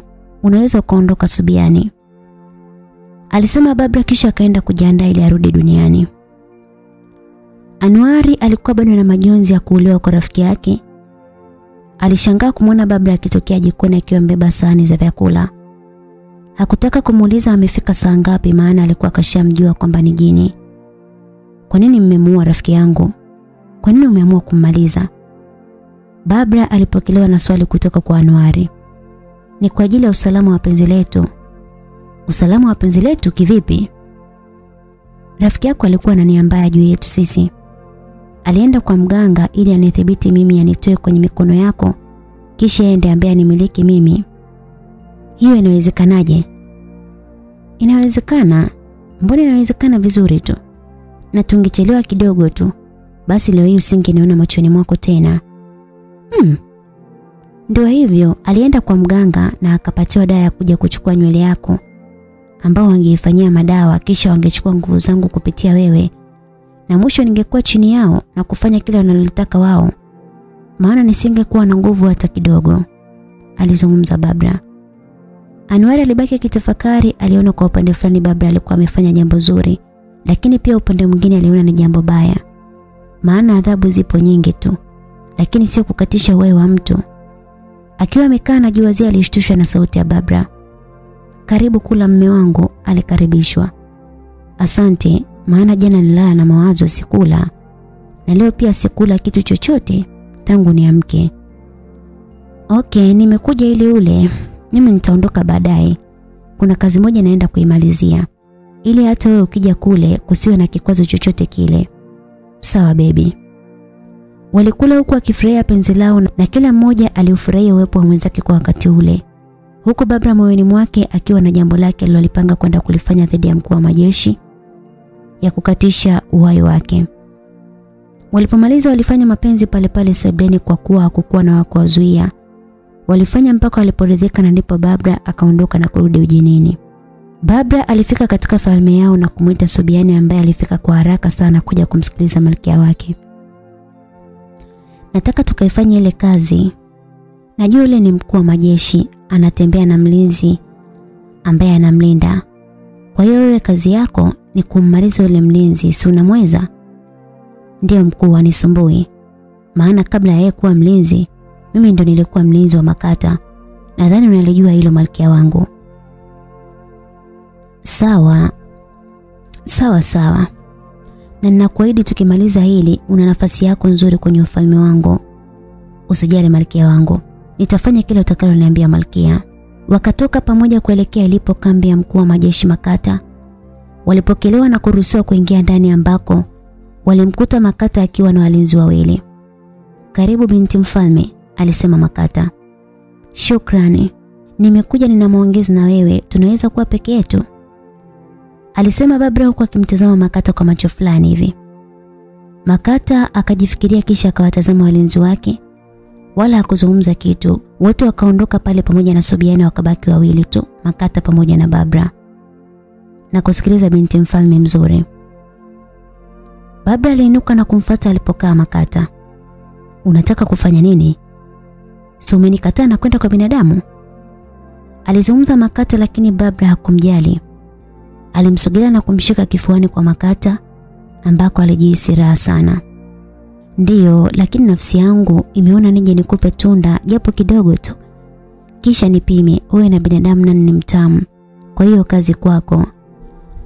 Alisema Babra huku akichojua nguo zake na kubaki kama alivyozaliwa. Makata akamrukia kwa popa wala hakutaka kuzungumza sana. Alimlaza Babra na kuanza kumwingilia. Alifanya kwa muda mrefu kisha akamaliza mzunguko wake huko Babra akiwa amejikaza kisabuni. Muda huo Makata alikuwa hajiwezi, yaani hana nguvu kabisa. Na ndipo Babra akataka kufanya yake. Aliinuka akaita kisu kikubwa mkononi mwake kikaja, kisha akatoa skadi zilizompeleka Makata ukutani na kumfunga Makata mikono yake na miguu. Alibaki akishangaa imekuwaje ajiwezi, na ndipo akakumbuka udhaifu wake pia. Akawa anajiuliza imekuwaje huyu ametambua udhaifu wake. Akawa anajitahidi kuzivuta nguvu zake ili ajikwamue mikononi mwa binti mfalme. Alijua ni kitu gani kinachofuata hapo. Hakujua ni nani ambaye alivujisha siri mpaka Babra amekuja kumfanyia jambo hili. Unataka kuupindua ufalme? Nani mimi? Nawezaje ikiwa tunaishi vizuri tuna mfalme? Unajifanya ujui sio? Babra, kukupenda kwangu isiwe kosa mpaka ukanifanyia hivi. Huna mapenzi. Nia yako ilikuwa ni huu ufalme. Lakini ukasahau njia ya Mungu ni fupi. Na leo ndio utakuwa mwisho wako. Majeshi yako yatakuwa chini yangu na falme itabaki na amani. Ulikuwa ukimfanyia ubaya Anuari kwa kumchanganya akili yake awe amenisahau mimi na kufanya mambo ya kunikera, lakini ikashindikana. Sisi tunapendana, hakuna wa zaidi ya Mungu tu. Omba toba, maana nina hamu sana na moyo wako. Najua nikiutafuna nguvu zako zitakuwa zangu. Tafadhali Babra, usifanye hivyo. Ha. Hilo haliwezekani. Ni lazima nikuangamize na niutafune moyo wako. Babra alianza kupiga hatua kwa kichezea ncha ya kisu kile cha kutisha. Akawa anakitembeza kwenye mwili wa Makata ambao kwa sasa ulikuwa dhaifu sana. Hakuwa na nguvu hata punje. Kisu kilitoa kwenye nyeti za Makata, akachukua mkono wake na kushika zile nyeti na kuanza kuzikata mpaka zikatoka. Makata alikuwa kwenye maumivu makali kwa akipiga kelele kali, lakini zilizimishwa na kisu cha kifua ambacho alichomwa na Babra. Kisha akaanza kukishusha chini na kukipasua kifua chote. Aliunyofua moyo wa Makata na kuanza kuutafuna mpaka akaumaliza wote, kisha akachukua taji ambalo ndilo la mkuu wa majeshi na kuanza kuondoka huko mkuu wa majeshi mwili wake ukiwa unaachana na roho. Babra alitoka nje ambako alimkuta Subiana na mmalizia ule Zuma mikono minne. Kisha wakaondoka zao. Kila walipopita majini alikuwa akitoa heshima, yalitambua kwamba hakuna mkuu wa majeshi zaidi ya Babra. Maana taji alikuwa amelishika Babra. Baba yake Babra alifurahi sana kuona mkuu wa majeshi ameuliwa na binti yake. Na hapo ndipo moyo wake ulijawa na furaha mno. Alimuuliza binti yake amemuua vipi lakini hakupewa ukweli zaidi ya kudanganywa tu. Alikubali maana ya kushirikishwa kwenye ule mpango. Babra alimwomba baba yake amfuate Anuari aje kumtambulisha na ikiwezekana waje wafunge ndoa kabisa. Baba yake hakuwa na pingamizi, alimruhusu binti yake huku akitoa amri kuanza kupamba ufalme wote, maana mkoo wake alikuwa anakuja. Majini yote alifurahi, maana alijua sherehe itakuwa kubwa. Hakutakuwa na kazi kwenye ufalme zaidi ya kufurahi. Baba aliingia kwenye nyumba yao na kumkuta Anuari akiwa anapika. Alitembea taratibu bila ya kusikika. Alipofika nyuma ya Anuari alimfumba macho. Babra, jamani, mbona tunatishana? Ha, nimekutisha na nini? Aliuliza Babra huku akitoa mikono usoni mwa Anuari kisha akambeba hewani akawa anapaa. Anuari alibaki akipiga kelele tu. Tunadondoka mpenzi, tutadondoka, naogopa. Usijali, relax, hawezi kudondoka mpenzi. Nishushe mpenzi, nitaunguza bwana. Uunguze nini wakati kunajipika kwenyewe pale? Kweli alipotazama jikoni kulikuwa kunajipika bila ya mtu yoyote ule. Yaani mwiko wenyewe ulikuwa unasimama unajikoroga na mara chumvi inajipima saizi na kuingia kwenye sufuria. Mambo yalikuwa ajabu sana kwa Anwari. Alifurahi kuona mambo ya ajabu ajabu vile. Baba alimshusha Anwari na kisha wakaelekea chumbani ambako walienda kuoga kisha wakafanya yao mpaka waliporidhika na ndipo wakawa wanapiga story. Baby, kesho nakupeleka nyumbani. We kweli? Ndiyo au hautaki? Nataka ila naogopa mke wangu. Unaogopa nini sitaki penzi? Mm, mimi ni binadamu. Halafu huku mpo majini wengi. Uone kwamba ni hatari kwenye maisha yangu. Hakuna wa kukugusa bwana hata unywele wako mpenzi wangu. Mimi ndio binti mfalme na naenda kuwa malkia na wewe utakuwa mfalme wa himaya yetu yote. Aha, kweli mpenzi wangu? Ndiyo Mai. Okay, itanibidi basi niende na zawadi sio mikono mitupu. Si unajua mke wangu ukweni tena kule? Sawa wewe tu. Baba yangu anapenda sana asali. Kwa hiyo kama utampelekea atafurahi sana. Kweli eh? Oh, ngoja nimpigie rafiki yangu anaitwa Dhakiri. Ndo anakuaga na asali nzuri kutoka Tabora. Sawa. Anwari akachukua simu yake kisha alimpa oda rafiki yake Dhakiri akimwagiza kisha akaletewa. Siku ya kupelekwa kwenye ufalme wa majini ilifika. Anwari alivaa nadhifu sana. Mkononi mwake alikuwa mbeba chupa tano za asali ambazo alizitia kwenye mfuko fulani hivi mzuri sana. Baba alimsogelea Anwari kisha akafanya kama anampulizia kitu mdomoni mwake ambako Anwari alianza kujisikia kama ana nguvu fulani hivi. Kisha akaambiwa afumbe macho yake. Hata iweje asije akafumbua macho yake mpaka atakapoambiwa na Babra na ndipo afumbue. Anuari hakuwa mbisha akafumba macho yake kisha Babra alimkumbatia Anuari na kuanza kupaa naye. Walipaa kwa dakika zipatazo tano kisha wakaingia kwenye maji ambako hawakuloana hata kidogo. Babra alienda kutua nje kidogo ya mji. Alimwambia Anuari afumbue macho yake naye akatii akawa anayafumbua taratibu. Hakuamini kwani alikuwa yupo katika ulimwengu mwingine kabisa. Aliiona miti ya ajabu sana ambayo hakuwahi kuona hapo kabla. Walikuwa hapo porini kwenye kinjia cha vumbi na mbele kidogo kulikuwa na bango linalowaka moto likiwa limeandikwa kwa maneno yasiyoeleweka. Walikuwa kwenye pori ambapo mbele kulikuwa na njia ya vumbi na kulikuwa na bango linalowaka pia. Bango hilo lilikuwa limeandikwa na maneno yasiyoeleweka kabisa. Karibu kwenye ufalme wetu. Mm, asante sana. Hata hali ya hewa ya huku ipo kawaida kabisa. Ya, tupo chini ya bahari ndo maana. We, niambie kama unanitania. Sikutania Anuari, tazama juu. Anuari alitazama juu kweli akaona maji yakiwa juu kabisa. Na hapo ndipo aliamini kwamba kuo yaone. Na kweli ameyaona mambo ya ajabu sana ya ulimwengu huu. Yale yanaonekana ni maandishi. Ndiyo, ile ndio lugha ambayo inatumiwa huko. Pameandikwa karibu katika falme ya Shaanuni. Oh, sawa. Sasa kama mna lugha yenu, nitaelewana kweli na wao?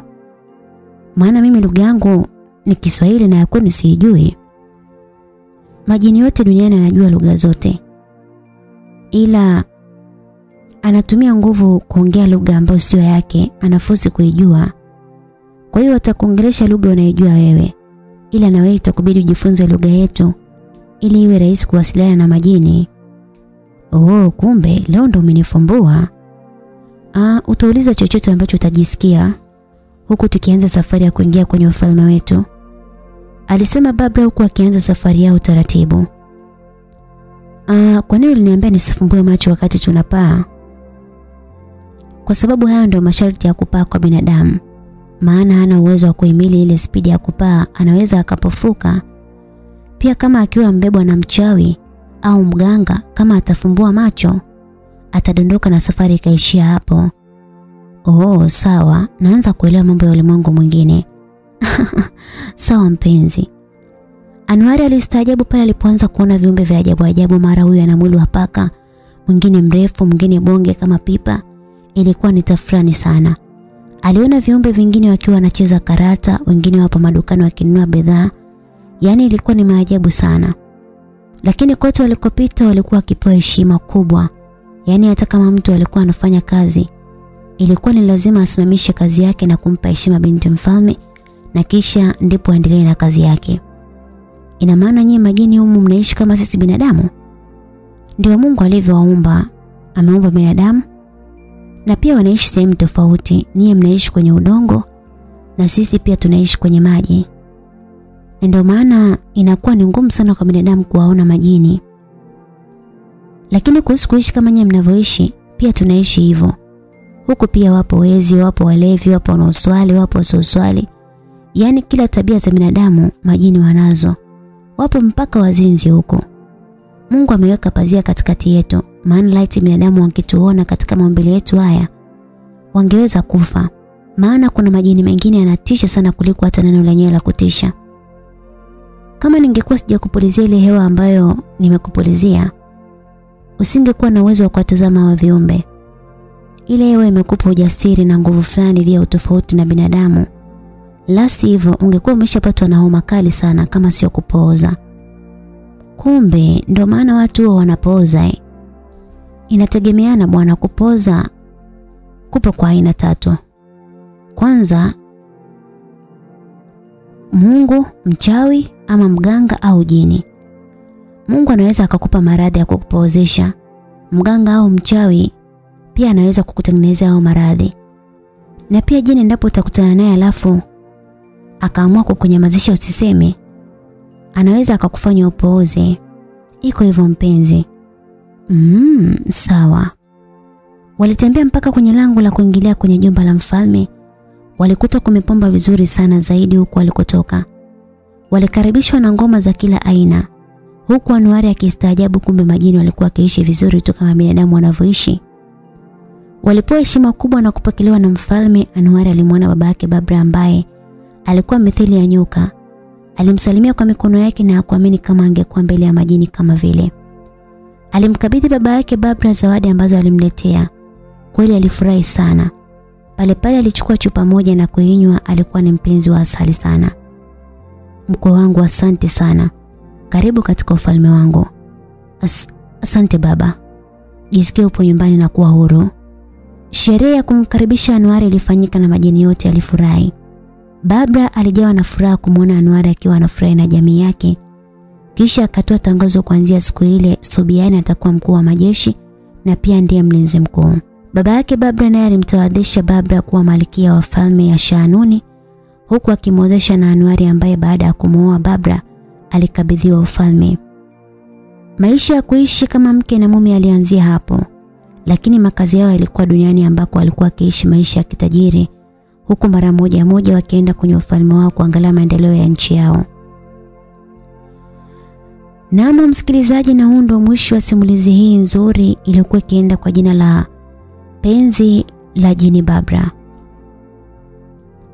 Mtunzi na mwandishi wa simulizi hii si mwingine bali ni Fahad Jinni.